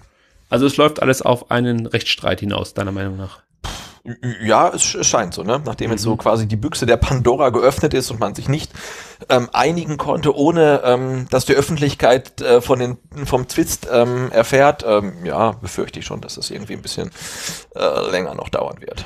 So, dann nehmen wir diese Ausgabe an einem Dienstag auf. Morgen ist Mittwoch, wenn ihr das Ganze hier zum ersten Mal hören könnt, möchte ich so sagen. Und am Donnerstag, ja, am 7.11. werden wir erfahren, wer denn letzten Endes am 15.12. zur Wahl steht und für wen wir den QR-Code abscannen können oder was auch immer es dann gibt für eine Möglichkeit. Ähm, wird natürlich ganz spannend sein. Wir haben ja letzte Woche schon drüber gesprochen. Susanne Schosser, Christian Riedmüller, Martin Bitzer und Klaus Vogt sind die letzten vier verbleibenden Kandidaten. Zwei davon werden es dann letzten Endes werden. Die stehen auch schon fest. Uns sind die nicht bekannt, aber die werden dann, wie gesagt, am Donnerstag äh, der Öffentlichkeit vorgestellt. Meinst Und du, die stehen jetzt schon fest? Es gibt vom Beirat jetzt keine, keine finalen. Ähm, Ich weiß, dass sie jetzt schon feststehen. Okay, okay. Oh, aber gut, ist jetzt auch nicht so verwunderlich. Also ich kann mir jetzt nicht vorstellen, dass die am Mittwoch sich nochmal zusammensetzen und sich wer weiß, du, wer weiß. Ja, also das würde ich fast schon unprofessionell finden, wenn man sich dann echt am Mittwoch erst hinsetzt äh, und am besten dann noch, weiß ich nicht, auf dem Handy irgendwie ähm, ja, so ein Statement tippt. so, ähm, nee, also natürlich stehen die jetzt schon Nee, fest. vermutlich stehen sie jetzt wirklich schon fest. Ja. Und dann sind wir mal gespannt, wer es dann werden wird. Ich möchte mich hier nicht zu einem Tipp hinreisen lassen, aber ähm, ja, also ja, ich möchte mal so sagen, alles, was ich bis jetzt gehört habe, sind alle vier Kandidaten wirklich auch geeignete Kandidaten. Also das hörte sich wirklich sehr gut an, auch über die Kandidaten, die man jetzt vielleicht nicht so kennt. Ja, Frau Schosser und Herr Riedmüller, nee, äh, Herr Bitzer, weil Herr Bitzer inzwischen eigentlich äh, dann, dann auch bekannt wurde, möchte ich mal sagen. Da gab es ja jetzt einige Artikel über ihn, die man finden konnte und äh, ja, so ein paar Leute, die ihn kennen aus seiner Zeit als ähm, Direktor des Württemberg-Gymnasium, haben ja auch ein bisschen was erzählt. Bleibt nur die Susanne Schosser übrig, die man jetzt nicht so gut kennt, aber da wurde mir auch mitgeteilt, dass das eine sehr, sehr gute Kandidatin sei. Und mal gucken, wer es dann am Ende wird. Bleibt also spannend. Guido Buchwald hat sich auch nochmal zu Wort gemeldet. Wir werden das Thema jetzt nicht nochmal komplett aufarbeiten, weil wir haben ja letzte Woche schon viel dazu gesagt. Im Endeffekt hat sie auch nicht viel geändert. Ja, der Buchwald bleibt bei seiner Meinung, dass da einiges schief läuft im Aufsichtsrat, kann so richtig oder wird nicht ganz so konkret, wie ich mir das wünschen würde. Der VfB bzw. der Vereinsbeirat bestreitet die Anschuldigungen von Guido Buchwald und äh, am besten, Sebastian, habt ihr das vom Vertikalpass zusammengefasst mit einem GIF. Äh, ich weiß jetzt nicht, wie ich das beschreiben soll, aber man sieht halt, wie sich zwei Männer, was ist das, kratzen oder abklatschen? Ich kann es nicht so richtig definieren, aber es wirkt halt wirklich so ein bisschen wie so ein, wie so ein Bitchfight, wenn man äh, das so ausdrücken darf. Ähm, ja, es braucht Zeit absolut gar nicht. Diese Unruhe ist, ist wahnsinnig unnötig und ich bleib dabei, wenn es was Konkretes zu vermelden gibt, dann bitte jetzt konkret werden. Ja, jetzt ist der Moment, wo man die Klappe aufmachen muss und ganz konkret die Dinge benennen muss, die man hier kritisiert und nicht so im Wagen bleiben darf. Also äh, vielleicht möchte ich jetzt dann doch noch einen kleinen Punkt aufgreifen. Ich glaube, der Buchwald sprach davon, dass er mit einer Mail belegen kann, äh, dass, dass seine Anschuldigungen ähm, ja, Hand und Fuß haben. Ja, dann muss die Mail vielleicht dann doch mal in die Öffentlichkeit. Also wenn es die gibt oder so, wäre es vielleicht nicht schlecht. Ja, aber ansonsten. Ja, die Art und Weise der, der, der Diskussion da, die äh, ist mir auch etwas sauer aufgestoßen, vor allem wenn der Wolf Dietrich Erhard sagt, dass er und der Guido Buchwald sich ja schon sehr ja, Jahrzehnte irgendwie persönlich kennen, ja dann sollen das entweder unter sich regeln und nicht über die Presse ähm, oder ähm, Tacheles reden halt, ne? Aber so ja. ist es halt irgendwie so ein, ah, so ein, so ein, so ein, so ein Pseudo-Fight, ähm, der, der zu nichts führt, außer zu noch mehr Unruhe irgendwie im VfB und äh, zumindest den VfB irgendwie nicht, nicht weiterbringt. Und dann kann man es auch lassen. Ähm, oder man macht es halt dann irgendwie richtig und, und sagt halt, ja, äh, spricht halt, wie du sagst, ne, ähm, Tacheles ähm, spricht die Sachen an, legt, legt irgendwelche Belege vor, aber so ist es einfach ähm, unschön und ein bisschen Kindergarten. Wir können ja jetzt schon mal anteasern. Nächste Woche werden wir die reguläre Fahr Folge auch erst am Dienstag aufnehmen, weil wir beim dunkelroten Tisch sind. Und vielleicht gelingt es uns vom dunkelroten Tisch auch noch eine Folge aufzunehmen. Und äh, da werden wir dann auch schon so ein bisschen über die Kandidaten sprechen können, die ja dann schon feststehen und sich auch uns vorgestellt haben. Also das wird vielleicht ganz interessant. Vielleicht kriegen wir da was hin am Montag für euch. Und ähm, das Thema Vereinspolitik nimmt natürlich jetzt Fahrt auf. Ja. An der Stelle kann ich vielleicht auch noch mal darauf hinweisen, dass es eine wundervolle Veranstaltung geben wird. Aller vier VfB-Fan-Podcasts, die Viererkette live am Donnerstag, 28.11. im SSC in Stuttgart-Bad Cannstatt. Ich könnte mir vorstellen, dass es schon Ende dieser Woche da etwas konkreter wird. Ja, also da gibt's Überschneidungen, die für euch vielleicht sogar schon ein Stück weit auf der Hand liegen. Also, dann freut euch mal auf die Ankündigung auch von der VfB Viererkette in den nächsten Tagen. Ich denke mal, so kann man es ungefähr zusammenfassen. So, gut, Sebastian, kommen wir noch zur Jugendabteilung des VfB Stuttgart, zumindest zu einem Teil davon.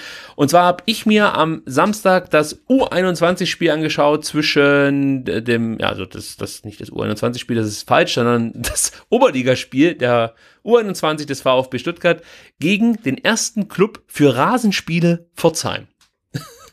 Ja, ich musste erstmal googeln, was äh, erster CFR ja. heißt. Ja, ich wusste es wirklich nicht, aber jetzt äh, habe ich gelernt, es ist der Club für Rasenspiele. Das Spiel ging 2 zu 0 aus und ähm, ja, man kann es, glaube ich, so zusammenfassen, dass das ein Pflichtsieg war für den VfB Stuttgart. Äh, mich hat jetzt das Spiel an sich nicht begeistert. Das lag aber weniger am VfB, sondern dann eher an Pforzheim, die natürlich das gemacht haben, was so ein, ja, einfach eine etwas schlechtere Mannschaft so macht, nämlich sie stellen sich hinten rein, verteidigen gut und lauern dann auf Konter. Und das hat in der ersten Halbzeit eigentlich auch ganz gut funktioniert. Ja, der VfB hat zwar das Spiel gemacht, hat auch zu Beginn äh, gute Chancen gehabt. Ich glaube, gleich nach 30 Sekunden muss eigentlich schon das 1 zu 0 fallen. Das sah nicht schlecht aus, aber mit äh, zunehmender Spielzeit haben halt auch die Pforzheimer dann ihre Kontermöglichkeiten gehabt. Gott sei Dank nicht genutzt, muss man an der Stelle sagen. Und die Entscheidung fiel dann äh, erst kurz vor Schluss oder ja, in der 78. Minute, 12 Minuten vor Schluss, als Jan Kliment sein sechstes Saisontor erzielen konnte, nach einer Vorlage vom eingewechselten Joel Richter, der dann in der 81. Minute den Sack zugemacht hat mit dem 2 zu 0. Er hat also eine sehr, sehr gute Partie geliefert aus meiner Sicht. Überhaupt ähm, waren die Einwechslungen sehr, sehr gut von Paco Fass, äh, Joel Richter, der wie gesagt ein Tor geschossen hat, eins vorgelegt hat und auch Sokrafakis äh, hat aus meiner Sicht ein sehr, sehr gutes Spiel gemacht nach seiner Einwechslung. Die ja, Spieler aus der ersten Mannschaft haben mich nicht so begeistert. Tangi Kulibadi war mit dabei und äh, Matteo Klimowitz, Roberto Massimo, der ja in der Oberliga schon das ein oder andere Mal aufgedreht hat, aber jetzt gegen Pforzheim nicht so zur Geltung kam, wie ich das schon gesehen habe in Oberligaspielen. Ja, aber wahrscheinlich kann man jetzt mit diesem Spiel ja auch nicht, nicht, nicht viel anfangen. Also das war halt einfach mehr oder weniger ein Pflichtsieg. Und äh, jetzt heißt es halt einfach, äh, das nächste Spiel oder sich aufs nächste Spiel freuen am 9.11. gegen die Stuttgarter Kickers. Äh, das ist natürlich dann schon nochmal eine andere Nummer. Äh, gut ist, dass die U21 des VfB jetzt äh, mit, mit breiter Brust in dieses Spiel gehen kann. Fünf Spiele ungeschlagen. Auch wieder den Rückstand auf die Tabellenspitze verkürzt. Und ja, ich bin jetzt natürlich gespannt, wie es dann gegen die Kickers läuft am im 9.11. Äh, also das wird ein interessantes Spiel. Leider Gottes kann man sich's nicht live fort angucken, weil ja der VfB, die erste Mannschaft, äh, in Osnabrück spielt. Oder gehst du nach auf die Waldau. Nee, ich hatte auch, ähm, ich ähm, spiele sonntags abends im Winter immer ähm, Hallenfußball auf der Waldau und als ich dann wieder zurück nach Hause fuhr, habe ich dann das Plakat da stehen sehen an der Ampel und dachte irgendwie, boah, Derby und Samstag, super, da kannst du hingehen und dachte ich, ja, der spielt der VfB aber auch in Osnabrück. Das ist echt ein bisschen schade, weil das, das wäre echt mal was, was man sich ähm, schön anschauen könnte. Ähm, ja, aber nicht, wenn die erste Mannschaft parallel in Osnabrück spielt. Ja, Misseltat hat es auch gesagt. Es ist total ärgerlich, dass die erste parallel in Osnabrück spielt. Ich hätte das Derby super gerne gesehen, aber das können wir jetzt nicht ändern. Richtig, Herr Mislintat. Übrigens an dieser Stelle herzlichen Glückwunsch, Herr Mislintat. Ja, der ist heute Gute. 47 Jahre alt geworden. Und ähm, er hat auch schon gesagt, dass die erste Mannschaft die zweite oder die U21 nicht so unterstützen kann mit Spieler, weil sie halt eben ihre Spieler selber brauchen in Osnabrück. Also ich bin mal gespannt, wie das dann jetzt ausgeht gegen die Kickers. Genau, aber dennoch kann man sagen, dass die U21 so ganz langsam ins Rollen kommt. Ne? Die war ja, ja. So Anfang der Saison, ey, dachte man, buh, ähm, wie, wie geht's da aus? Weil irgendwie Mission Wiederaufstieg ist ja eigentlich klar. Und da sah es ja echt nicht so gut aus. Aber jetzt so, wenn es Richtung äh, der langen, langen Winterpause geht, äh, wird die Perspektive echt immer besser. Ja, also David Tomic kehrt jetzt auch nach seinem Muskelfaserriss zurück.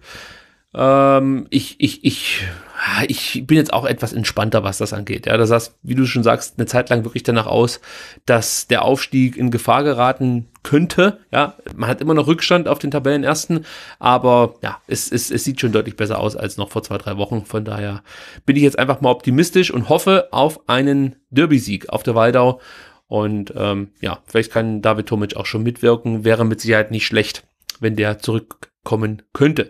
Die U19 war auch erfolgreich, gewann 2 zu 3 oder andersrum 3 zu 2 gegen Kaiserslautern, musste zweimal einen Rückstand aufholen. Und am Ende waren es Egloff, Hummel und Hollerbach, die den VfB zum Sieg schossen. Äh, jetzt geht's am Samstag um 13 Uhr gegen den SC Freiburg. Die sind drei Punkte hinter Stuttgart. Ich glaube, Stuttgart ist aktuell auf Platz 3 hinter Bayern München und Mainz 05.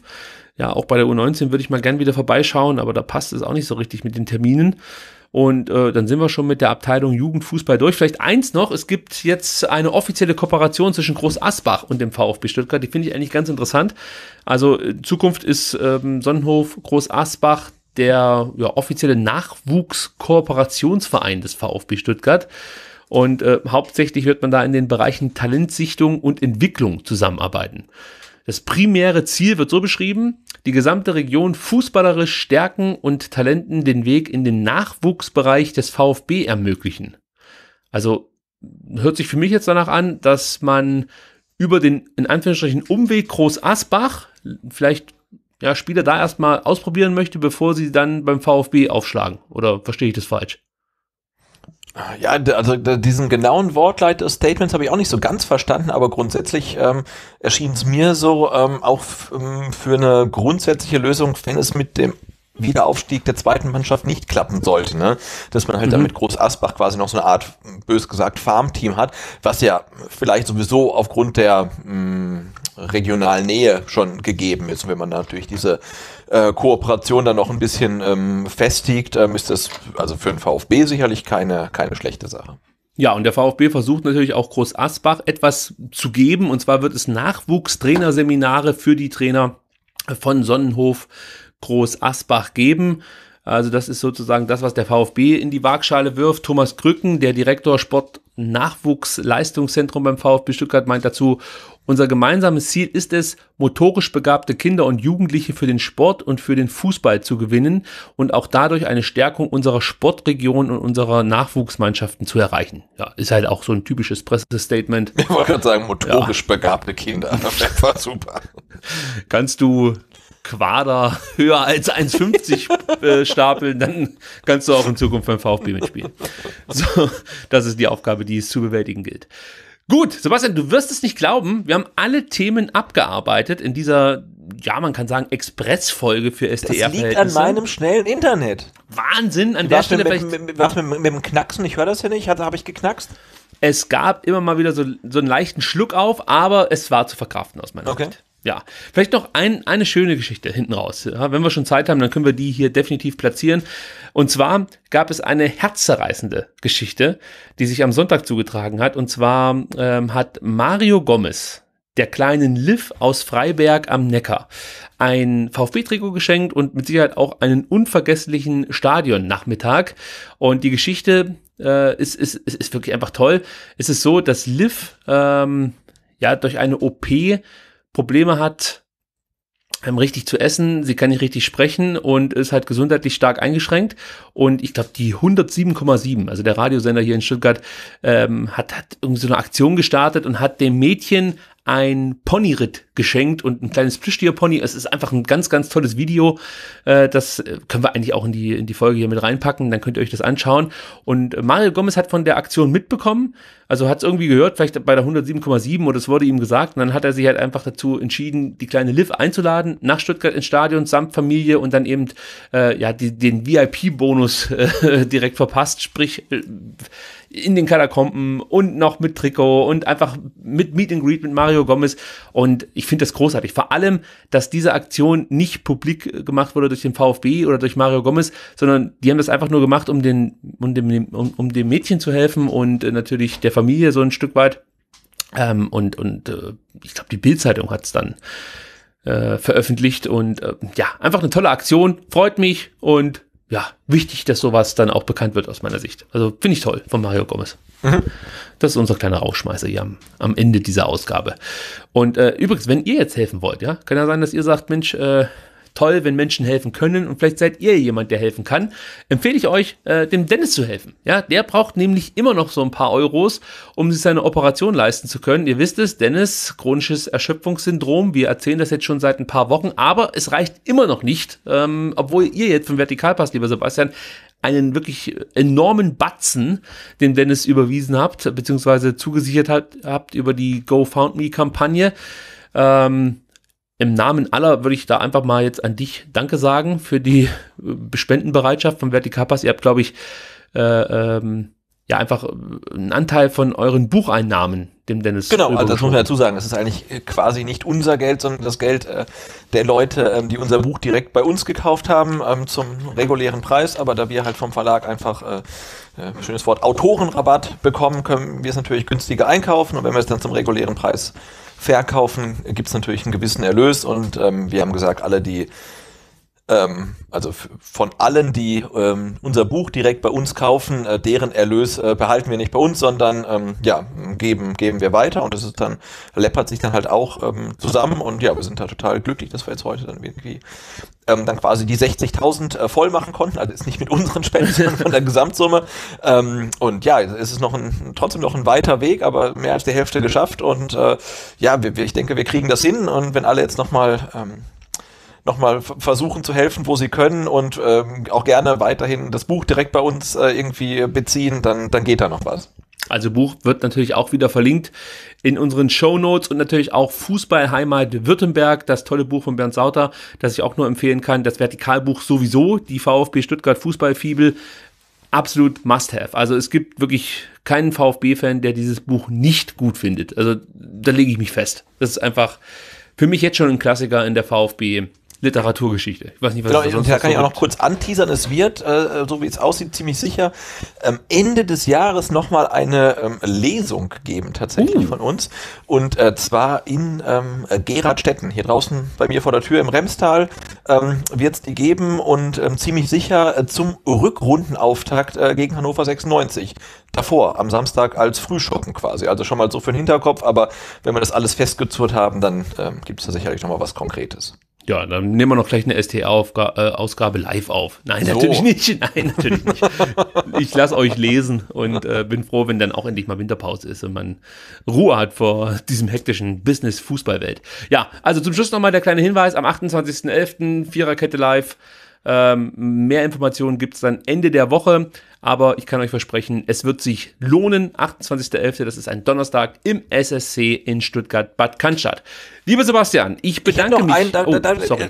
ich hätte noch einen, einen Termin hätte ich noch, weil der ist am nächsten Sonntag und wenn ich den erst nächste Woche anbringe, ist er schon rum. Das wäre wär, ähm, schade und wir hatten es ja in dieser Ausgabe schon vom jetzt äh, nicht mehr ähm, Präsidentschaftskandidaten Guido Buchwald.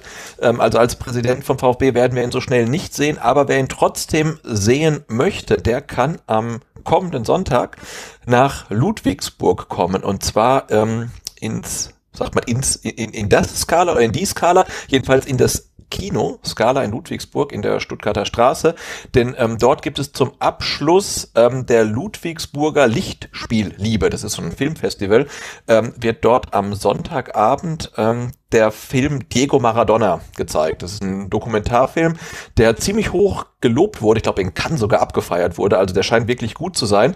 Ähm, der wird gezeigt am kommenden Donnerstag um 19 Uhr. Ähm, und im Anschluss an diesen Film gibt es dann ein Gespräch mit Guido Buchwald, was ich total geil finde, weil das passt ja ähm, her hervorragend dazu.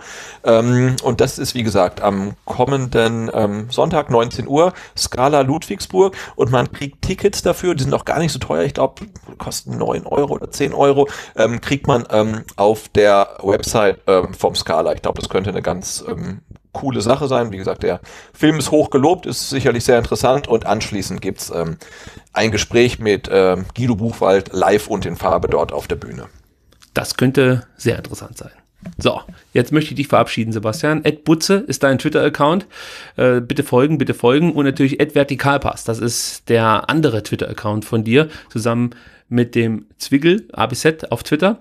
Und ähm, dann gibt es natürlich noch vertikalpass.de. Da könnt ihr die neuesten VfB-Artikel, möchte ich fast schon sagen, äh, Blogbeiträge lesen.